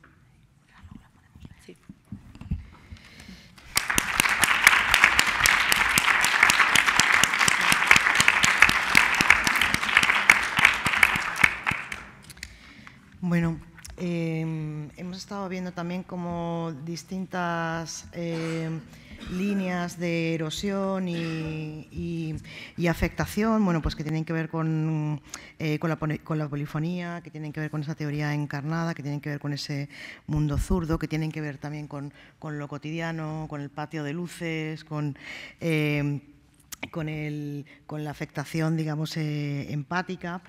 Em, que bueno, también nos abren ¿no? o abren también esas posibilidades de, eh, de ir más allá incluso de las, de las contranarrativas. Eh, tal vez podríamos pasar ya eh, al, debate, porque vamos un poquito justas de, de tiempo, a las preguntas que, que, tengáis o a las aportaciones que os apetezcan hacer. Creo que el micro está, está por ahí, ¿sí? Por ahí. Vale, muy bien.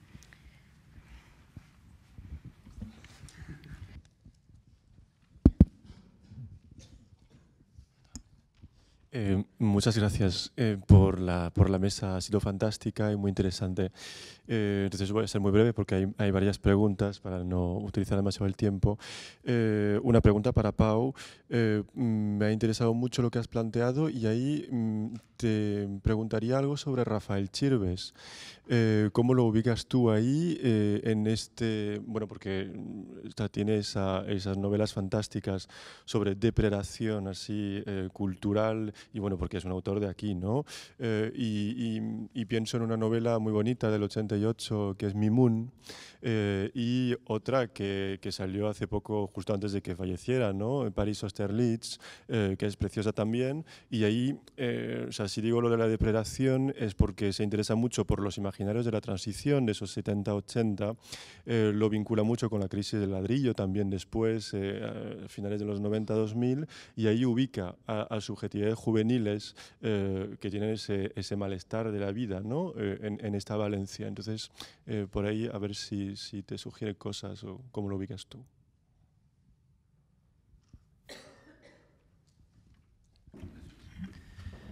Pues muchas gracias, Brice. pues no lo ubico en esta investigación. Eh, fue una cosa que voy a intentar también contestar rápido porque como vamos justos de tiempo, eh, fue algo que de hecho queda pendiente para el futuro y es la implementación a lo mejor de toda una dimensión más cultural respecto a este, a este tipo de cuestiones. Yo prioricé el movimiento asociativo un poco por ver los debates ahí dentro, pero todo lo que se queda fuera a lo mejor es una cuestión más de intentar implementarlo por otras partes. Sobre todo a mí me esa, digamos, esta cuestión de los imaginarios respecto a Valencia me surgió sobre todo con la anarquista Nudo Luis Fernández, que tampoco trabajo. Entonces, no puedo ubicarlo en la investigación conforme la tengo. Eh, y luego también porque eso implicaría pues eso, una aproximación mucho más desde una perspectiva cultural que no es la que, la que he trabajado yo. Entonces, pero bueno, tomo nota de cara al futuro, futuras publicaciones, porque el diálogo ahí también es importante. ¿no?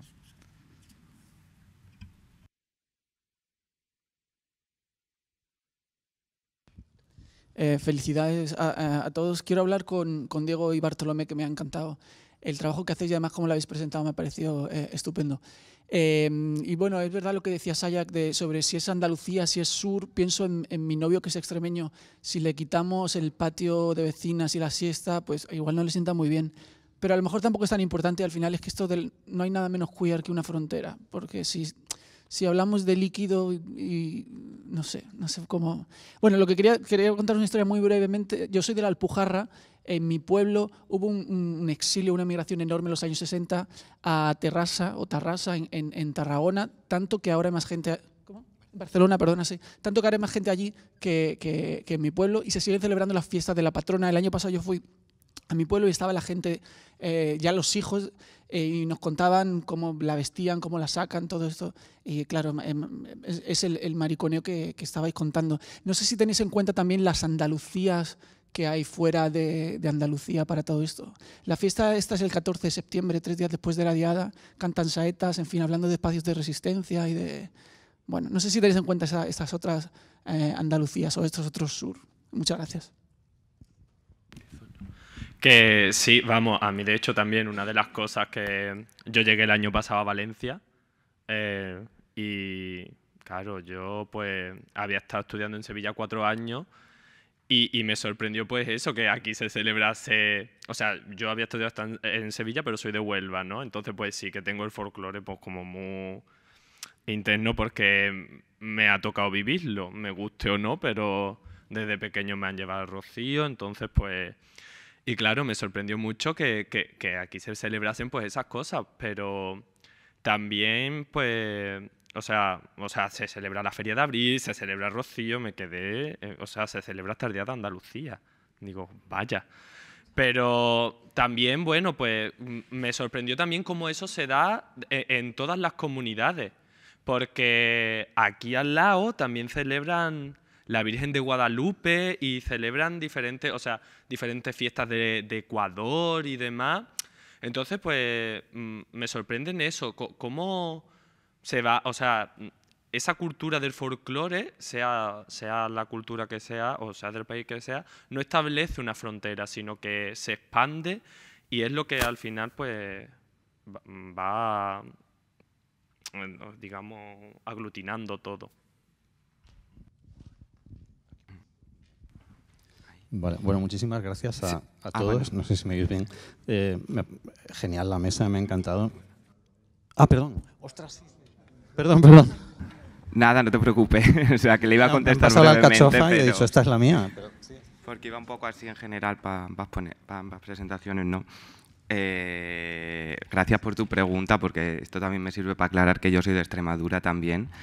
Lo que pasa es que me conecto con Andalucía, aparte de porque llevo ya muchos años allí y, y la forma en la que me he politizado, pues es desde allí, los, conocimientos sobre los activismos que tengo desde allí y tal pues también un poco me conecto pues porque Extremadura y Andalucía son primas hermanas eh, y me conecta una historia pues familiar que, que, que, es muy similar a la de a la Andalucía. Mis padres, mis abuelos, mis tíos abuelos, toda mi familia son trabajadores del campo y yo ahora también lo soy. O sea, mm, estoy tres meses currando en la aceituna, los tres meses siguientes se lo dedico al doctorado, los tres meses siguientes eh, recojo cereza, los tres meses siguientes se lo dedico al, doctorado, entonces me conecto mucho con Andalucía por ese, por ese pasado y por esa historia familiar que, tenemos. Y esto me lleva también a tu pregunta, que era la de qué entendemos por sur. ¿no? También, eh, aunque principalmente hemos he hablado de Andalucía, mm,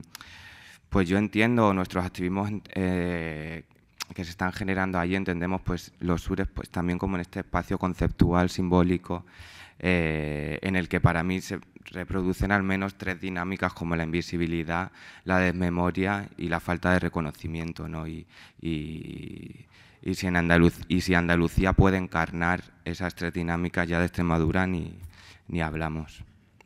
Y por otro lado sí que es interesante lo que comentabas, si teníamos en cuenta eso otros espacios. Eh, yo como principalmente me quiero centrar en el activismo, eh, sí que me gustaría, y estoy comenzando, sí que me gustaría poder recoger estos testimonios de personas que se exiliaron a Madrid, a Barcelona, a Euskal Herria y demás en, estas épocas pasadas, pero también me parece muy interesante recogerlo los actuales, porque es que mm, tenemos mogollón de colegas y de compañeras de nuestros movimientos que, que, siguen, que se siguen reproduciendo estas dinámicas de quizá ya no, por, no tanto por su exilio, pero sí por precariedad. ¿no? Entonces, me parecería muy interesante poder recoger sus vivencias y cómo, y cómo, cómo sienten ellas esta, esta cuestión pues, pues viviendo en Barcelona o, o Madrid o en Escalería. Sí, vale. No, decía, perdón eh, por interrumpir, es que no me di cuenta. Muchísimas gracias a todos. Me parece súper indispensable el trabajo que habéis presentado. De hecho, yo creo que, bueno, como parte del equipo organizador, era una de las eh, finalidades del proyecto cuando el sacar a la luz este, estas historias periféricas, estos discursos periféricos y estas eh, como, eh, en fin, zonas de deslizamiento y corrimiento que no, son, no, no, vienen siempre de las grandes metrópolis, del triángulo, como habéis dicho, en Madrid, Barcelona, algo menos Euskadi. y una, entonces una de las ideas que teníamos era visibilizar las periferias, aunque bueno, se nos ha quedado a lo mejor corto, cierto que no está Canarias, hemos dependido también mucho de lo que nos ha llegado. Eh, hemos buscado gente, no siempre pueden venir, no siempre son las fechas correctas. Eh, como canario te puedo decir que siento, efectivamente, como nación Tenerife, que no haya más de Canarias, pero eh, tampoco hay nada de Tánger, que hablando de periferias sexuales, sociales y políticas, en la España franquista y tardofranquista, Tánger fue un punto de fuga fundamental para sexualidades otras y allí en momentos distintos convergen, bueno, no solo lo que todo el mundo conoce, ¿no? que son los Beat, que son Paul Bowles y eh, Janet Bowles, sino eh, Aro Ibars crece allí, eh, Solo escribe un par de obras fundamentales centradas en Tánger, etcétera, etcétera.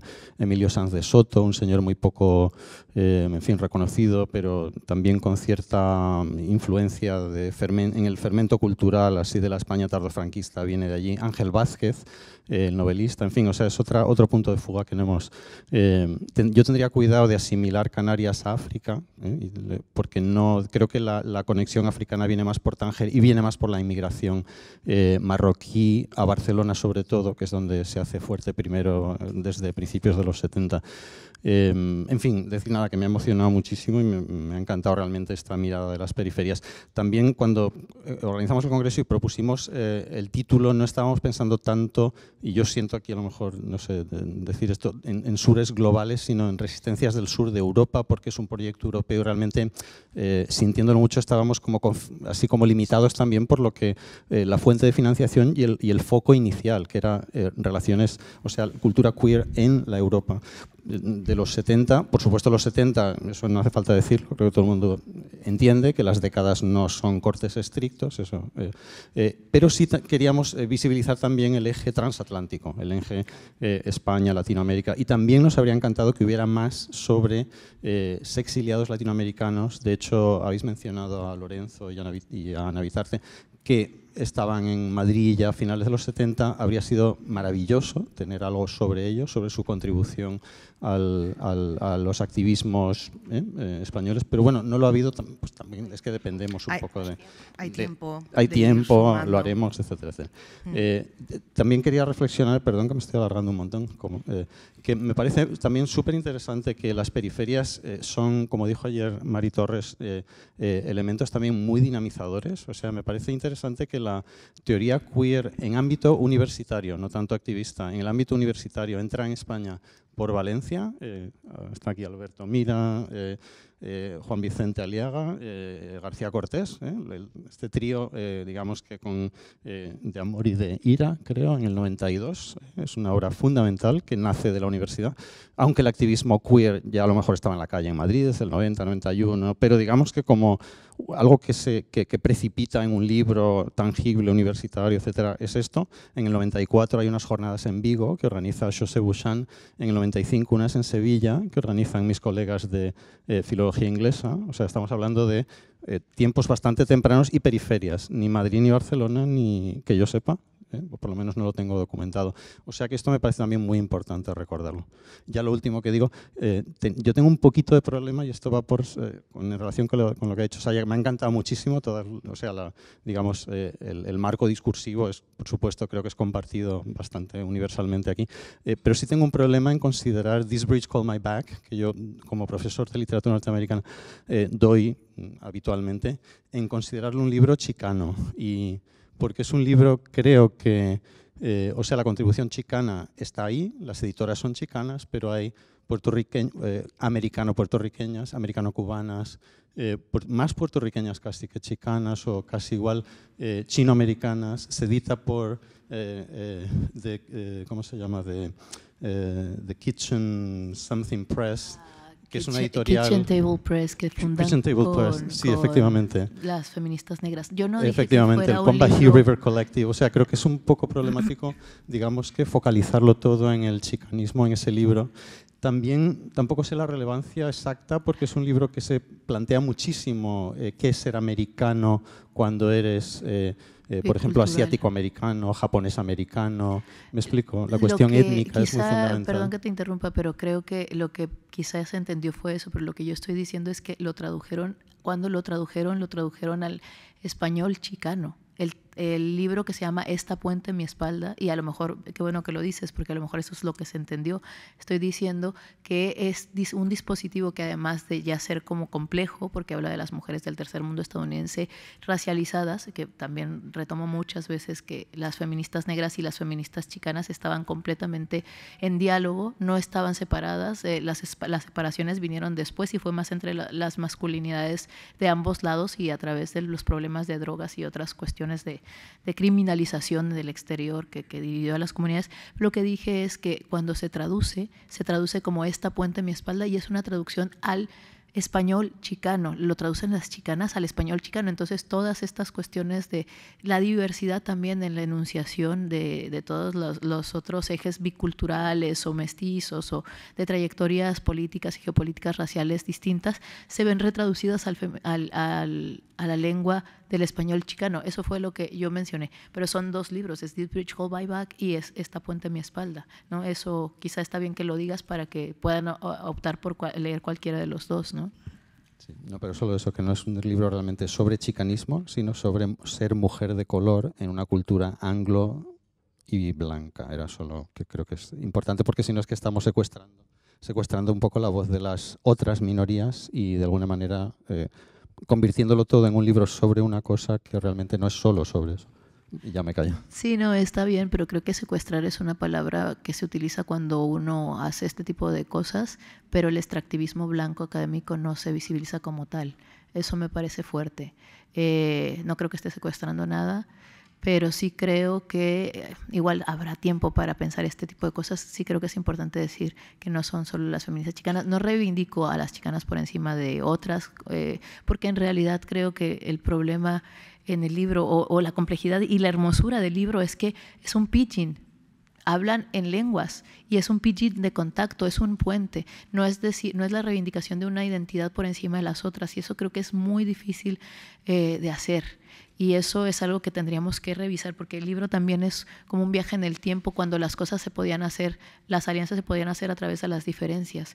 Y eso es algo que creo que nos puede inspirar muchísimo ahora. Por eso también creo que es uno de los referentes del transfeminismo que a mí me interesa y que es el trans, o sea, no es solamente que está hablando de los 70 o de los 80, está dándonos noticias del pasado, de un futuro que nos, nos estábamos esperando, pero que ellas ya estaban viviendo, ¿no? Y eso es muy interesante. Pero claro, yo creo que sí es importante, no es solo de las chicanas, pero sí hay una traducción chicana del libro, que es la primera traducción del libro al español y que creo que es la única. Después alguien, y fíjate qué curioso, una española se atrevió a traducir a Gloria Saldúa al castellano, que eso está muy bien. Es muy interesante, además es muy buena la traducción, pero, pero nadie de, ni de los anglo, ni de las chicanas, ni de las angloamericanas, ni de las mexicanas se atrevió a hacer esto. Y eso está muy bien porque también le da mucho más acceso a, a ciertas cuestiones. Y bueno, todas las demás también tienen sus propios libros, pero creo que lo importante quizá de estos dos momentos, el, el del español, el spanglish y de otras trayectorias, y luego la traducción al chicano. O sea, que al final está a lo mejor secuestrando saberes, no lo sé, pero yo creo que el hecho de desafiar la, eh, hacer terrorismo lingüístico, porque creo que eso es lo que hacen cuando hacen una traducción chicana, este, también nos está hablando de, de varias cosas y ahí nos meteríamos el problema de traducción, ¿no? ¿Quién está legitimado para traducir, quién no? Y, y cuánto podemos llegar a traducir como la y lo mestizo, pero bueno, ya me, me quedo ahí mejor escuchándote, escuchándote pensaba en el revuelo que trajo la traducción chicana del Quijote, no sé si os acordáis. Mm, la mesa ha sido genial, voy a ir directamente a la pregunta. Muchas gracias a todos, a todes. Pero mi pregunta es para Sayak porque ha venido en su faceta más modosita. Yo la he visto con una barba más poblada que sus tres eh, acompañantes ponentes. Entonces, quería un poco volver al movimiento que, marca el título de tu, de tu ponencia. Em, para ti, que eres una mujer border y que has hecho, intentaba encontrar un poema tuyo que no puedo citar de memoria exactamente, pero sé que dices algo así como ser una mujer border está muy bien hasta que te pasa a ti.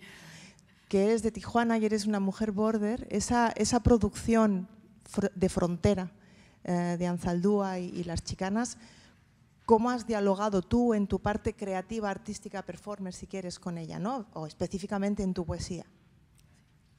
Sí, ese es un, es un poema muy cortito, cuando yo todavía me atreví a escribir poesía antes de que la academia me captara completamente la cabeza. Eh, me estoy desintoxicando, pero quién sabe cuándo vuelva a la poesía. Eh, sí, es un poema muy pequeño que dice, ser una mujer border es muy fácil, a menos que te pase a ti. Eh, entonces, como diálogo, creo que es un poco como desde la desobediencia, creo que lo que más he aprendido de las chicanas es justamente a dos cosas. Una es que pensar que la creatividad y la política pueden estar vinculadas a la poesía, que eso es, evidente, a lo mejor es una obviedad, pero que además las poetas pueden ser señoras que limpian tu casa. ¿No? que se pueden ver la desglamorización de los cuerpos cyborg, de los cuerpos resistentes, de los cuerpos rebeldes. Eh, ayer veíamos toda esta producción de, de, imágenes, a veces muy estetizadas, otras no, solo imágenes que representaban cuerpos que estuvieron ahí, pero yo pienso que si pusiéramos aquí una foto, yo no quise traer fotos de Gloria, eh, porque no quiero hacer ese trabajo antropológico de mostrar al sujeto que estoy.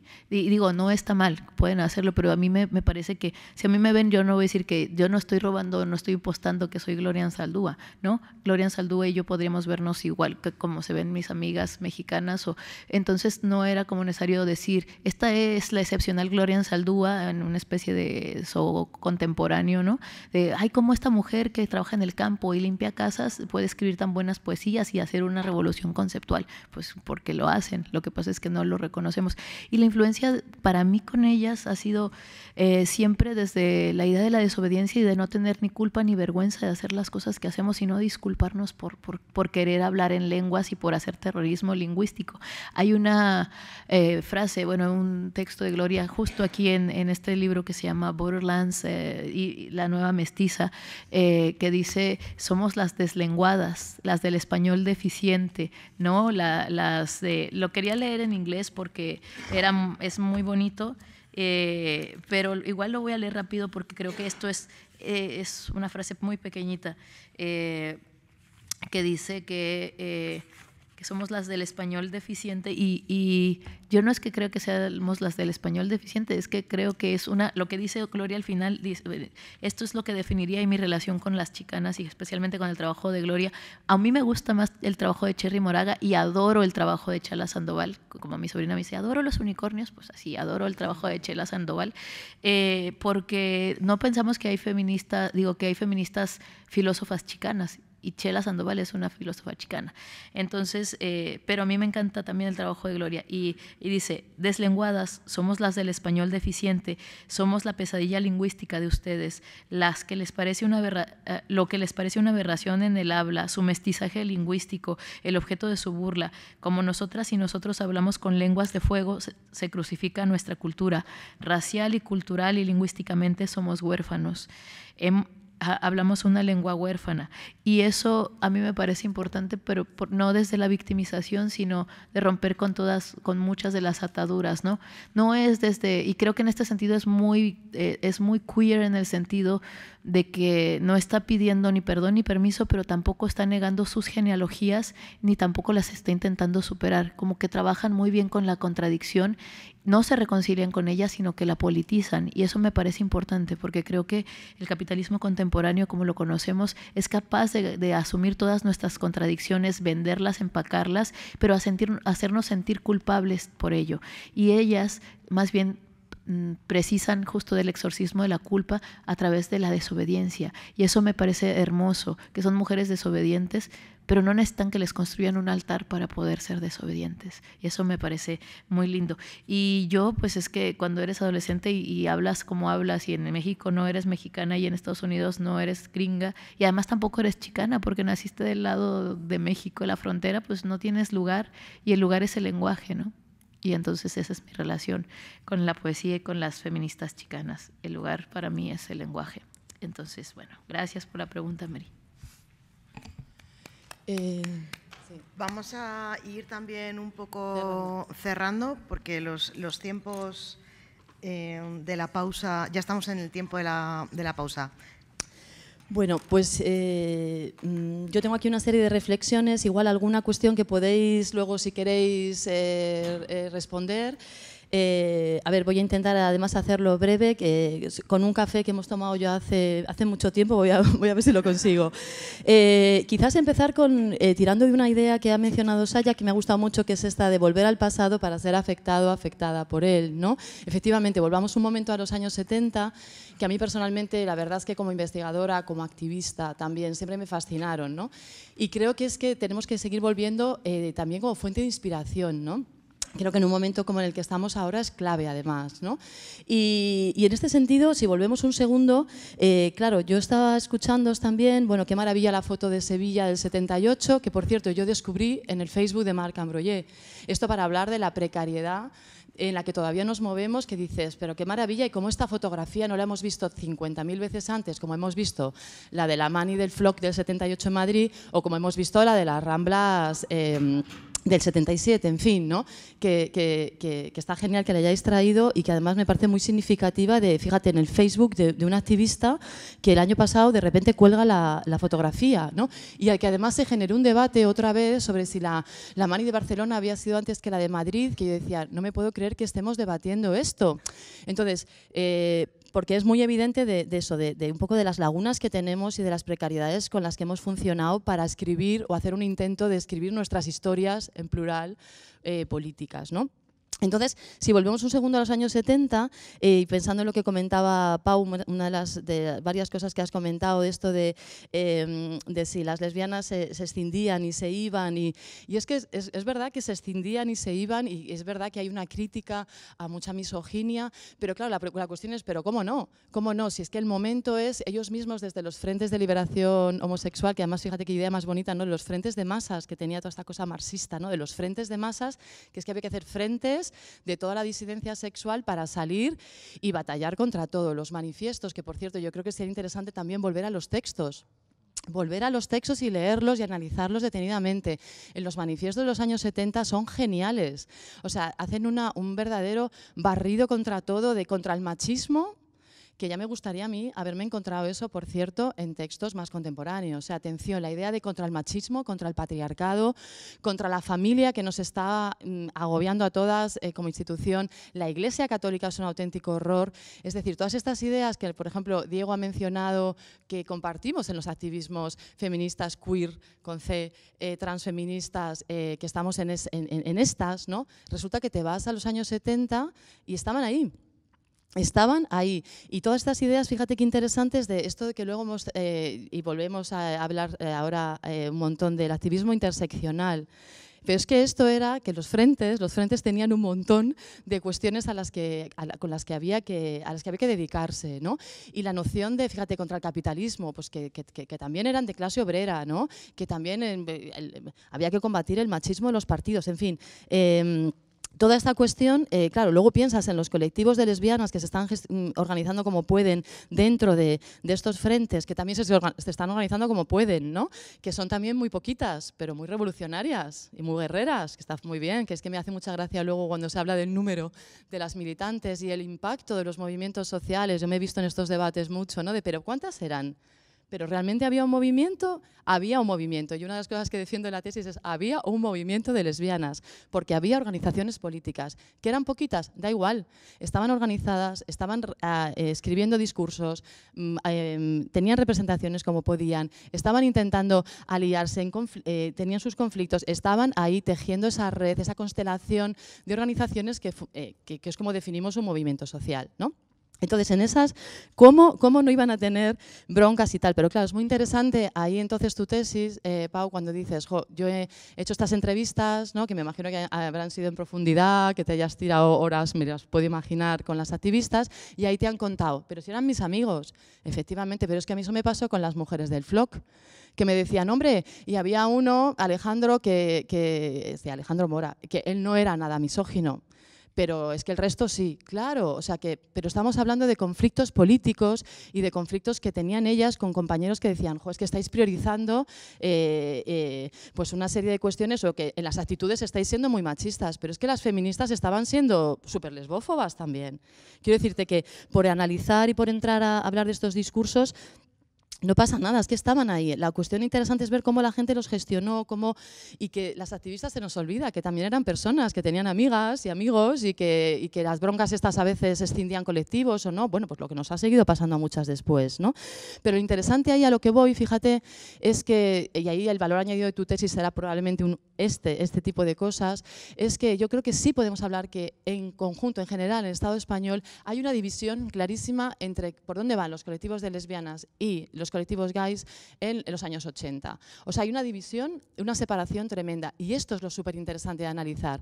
Esto por un lado. Y luego, por otro lado, una cosa que yo hablé mucho con Kerman cuando hacíamos la tesis, em, que por cierto, a, vueltas con lo que mencionaba Virginia, nos costó resistir y mucho, y batallar y mucho por escribir las tesis que escribimos en, el marco universitario, pero esa es otra canción. Eh, yo hablaba mucho con Kerman, fíjate que estábamos fascinados cuando nos metimos a analizar todos estos textos de los años 70 entonces, de, por ejemplo, de, la larga vida que en España, en Estado español, tuvieron los discursos sobre la liberación sexual. Esta es una cosa que yo creo que hemos tratado poco aquí, o hasta ahora en este congreso, que a mí siempre me fascinó. Hasta finales de los años 80 tienen unos discursos que en otros contextos ya se han ido apagando mucho antes, ya están en la onda de la política identitaria, LGTB, y aquí a mí me preocupa que cuando hacemos estos estudios decimos, en los años 80 ya estamos con la cosa LGTB, pero ¿qué va? Pero ¿qué va? Aquí en los discursos de la liberación sexual revolucionaria tienen una andadura larguísima y lo interesante es ver por qué. ¿Por qué duraron tanto aquí? ¿no? Mientras hay esta escisión gigante entre las, lesbianas que están en el movimiento feminista y luego los activistas gays. ¿no? Y por supuesto con el, con el mazazo del SIDA entre medias. ¿no? Pero creo que esta es una cuestión eh, muy, muy importante que, que, tendríamos que ver. No sé, la COFLE hasta el 89, si no me equivoco, está vivita y coleando. Cosa que en otros contextos ya están en la cosa de las políticas identitarias, ¿no? en, el, marco del SIDA. Y aquí las políticas identitarias empiezan muy tímidamente. Fíjate, Jordi Petit y la coordinadora gay lesbiana de, Cataluña, el COGAM también, poquito. ¿no? En realidad, hasta los años 90 no podemos hablar de políticas identitarias. Y aquí esto enlaza con que nos estamos trayendo marcos todavía hoy de análisis que no, que es que no, luego no, no nos encajan aquí para nada en nuestro, en nuestro contexto. ¿no? Y, bueno, nada, eh, para ir terminando, eh, mm, me ha encantado ver, eh, volver con vosotros, que me han gustado mucho las, las intervenciones también, eh, que de lesbianismo hay entre las folclóricas, ¿no? que a veces se nos olvida cuando hablamos de visibilidad lésbica y de las representaciones. Y yo la estaba viendo y digo, pero si estás, estás de toda la vida, nosotras anda que no, tiramos de ellas y nos, nos, lo hemos pasado fenomenal con ellas diciendo, pero estas, que, que, pero qué bien, ¿no? Se lo han montado. Mucho armario también, pero bueno, ahí estaban. Y mi comentario va un poco a vueltas con el tema del archivo y porque estamos escuchando también mucho la necesidad de, claro, de hacer archivos, de cómo los hacemos, de qué, de qué metemos, de qué no, eh, en fin, todas estas reflexiones que, que, también habéis planteado. ¿no? Y a mí me preocupa un poco que veo como mucha iniciativa de archivo últimamente, eh, ahora voy a ser crítica con esto para lanzaros así un poco a ver qué pensáis. Y creo que eh, nos estamos planteando poco el trabajar en, más en red, decir, oye, que allá hay otras iniciativas, que hay otros archivos. ¿Cómo hacemos para realmente articular, no voy a decir un archivo ni mucho menos, uno grande y libre, pero sí que ya hay iniciativas de archivos eh, y ya tenemos proyectos de investigación que están armando archivos y yo creo que ahí tendríamos claramente que coordinarnos. Y luego otra cosa que a mí me da mucho que pensar últimamente y es que la llevo oyendo mucho y vuelve y vuelve con las activistas de, por ejemplo, de los 70 es es que yo todo lo que tengo en casa es que no sé dónde llevarlo, porque es que no me convence ninguno de los sitios eh, que están disponibles. ¿Cómo hacemos? Y ese es otro de los retos que todavía no he visto por aquí, pero que creo que tenemos que pensar, ¿cómo hacemos para generar confianza, para darle a la gente realmente confianza en clave política también, y personal y empática, ¿no? O sea, de decir, oye, tráelo que aquí, que aquí está en buenas manos. Y esto es una cosa que todavía anoche estábamos hablando de esto en las cervezas. Yo tengo muchas cosas en casa y no las llevaría a lo que hay. Entonces, ¿cómo hacemos para que, por ejemplo, Diego, a tu archivo te lleguen cosas eh, y ya termino con una cosa en la New Mudéjar en, Madrid. Eh, el proyecto es muy bonito porque es proyecto autónomo, autogestionado, yo estoy colaborando con ellos de este proyecto de archivo. Y precisamente porque es como tan loco y tan anárquico y tan de traednos lo que queráis, yo creo que están haciendo un trabajo súper interesante porque la gente se está acercando mucho a llevar muchos materiales, igual mucho más que a otros sitios eh, más institucionales, como por ejemplo ha habido mm, como, bueno, mucho debate con el archivo Cuyer del Reina, porque ahora por ejemplo el acceso es muy limitado, entonces dices, jo, pues llevamos todo esto, pero si ahora no se puede consultar, y sin embargo en la New Mudéjar es todo abierto, eh, eso y autogestionado. Bueno, gracias.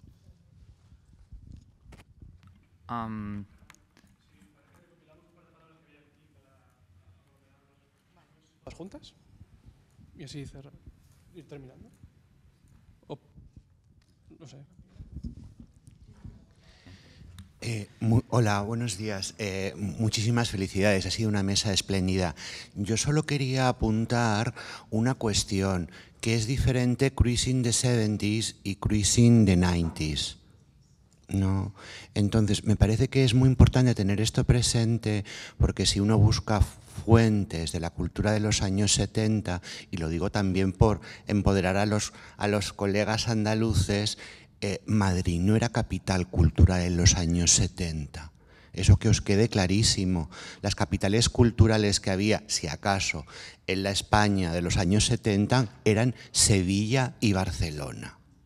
Y solamente hace falta leer la prensa libertaria de la época, tipo Ajo Blanco y tantas otras revistas, o por ejemplo leer las memorias de Pepe Rivas, su director y fundador, Los 70 de Estajo, para ver realmente que el hilo conductor era el eje mm, Barcelona, Valencia, Sevilla. Madrid no estaba en el mapa cultural. O sea, que os quitéis de ese mito de la transición y del estado de las autonomías, que Madrid era no sé qué. Madrid no era nada.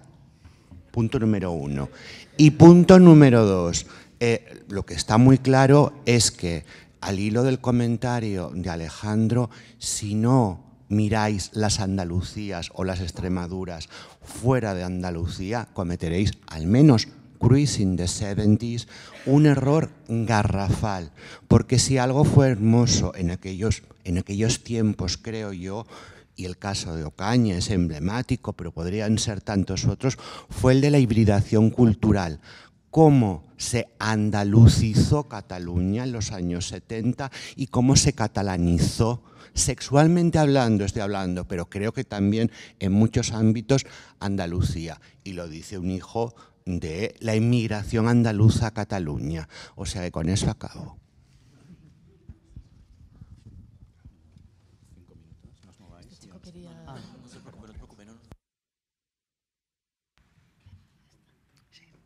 Bueno, ¿alguna, ¿alguna pregunta más que queráis plantear o podemos hacer un, un breve descanso de cinco minutos, nos da tiempo a más, cinco minutos únicamente.